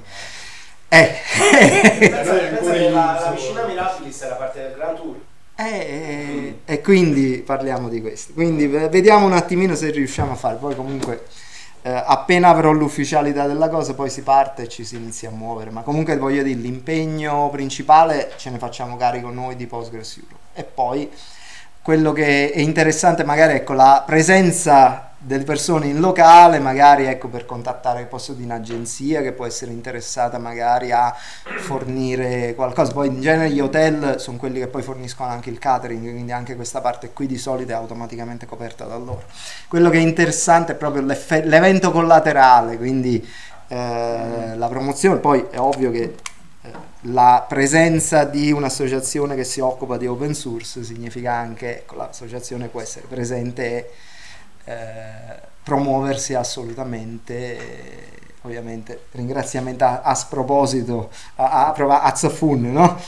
durante l'evento. Quindi intanto vediamo, vediamo se si riesce a portare, poi se si riesce a portare lo facciamo. Ma eh. che, che periodo pensavi? Ma eh, periodo si parlava di ehm, fine novembre, eh, sì sì no assolutamente, io quando ne abbiamo parlato, ci abbiamo due eventi, vabbè, c'è il Linux Day, ma c'è anche il- la Postgres Conf che quest'anno viene fatta ad Atene e capita proprio nel periodo di ottobre. Eh, la Postgres Conf è itinerante, l'anno scorso credo sia stata fatta a... dov'era? Aspetta, Berlino può essere? Non me non me ogni, ogni anno cambiano, quindi eh, diciamo che tutto sommato, perché comunque è una conferenza di tipo europeo, ogni- è un po' come i, i- i campionati europei, no? Ogni anno c'è una nazione che si occupa di questa cosa. Quindi diciamo che eh, per evitare proprio di accavallarsi a- alla conferenza più grossa, magari ecco, prima di Natale potrebbe essere un'idea e magari portare le persone a visitare Napoli proprio nel momento non troppo caotico natalizio, ma neanche troppo, come dire, di, eh, di stasi che, che Eh, adesso quel periodo di stasi non, Non ce n'è più perché infatti ho visto che... Napoli per, eh, per eh, i- eh, sotto Napoli, sotto Natale. Natale, per i presepi, Sta sempre con Armeno, pure, eh, pure per turismo È tra virgolette. Sì, diventata, ma infatti ho visto che Napoli diventa- sta diventando di, molto di tendenza, infatti magari una- un, un ping glielo faccio rapidamente proprio per avere anche, per avviarci subito, perché c'è anche il rischio che poi magari gli hotel ci dicano ti- ciao. Ti. Sì, assolutamente, infatti questa è... La, la faccio presente immediatamente perché effettivamente era una cosa che me ne sono reso conto ieri, che eh, l'ultima volta che sono venuto a Napoli è stato il 2018 e ehm, 2018 c'erano gli Airbnb, i B&B erano principalmente centro storico, adesso io sto a- al ponte di Casanova e ce ne so ovunque, turisti che girano anche in quella zona tra virgolette te- periferica, che poi periferica non è perché voglio di Porta Capuana a due passi, però prima non c'erano, quindi... Guarda, il sintomo è stato i turisti con la carta di Forcilla. Ah. Quello è stato il sintomo che Napoli sta cambiando e Eh. effettivamente poi è esplosa. E poi è esplosa, esatto. Prima cioè, Forcella non era il posto dove trovavi il turista. che si E metteva, diciamo che? Forcella, io tra l'altro mia nonna era di Forcella. Eh, no, no, no, no, ma è vero, è cambiato in modo improvviso, esclusivo. Ma è...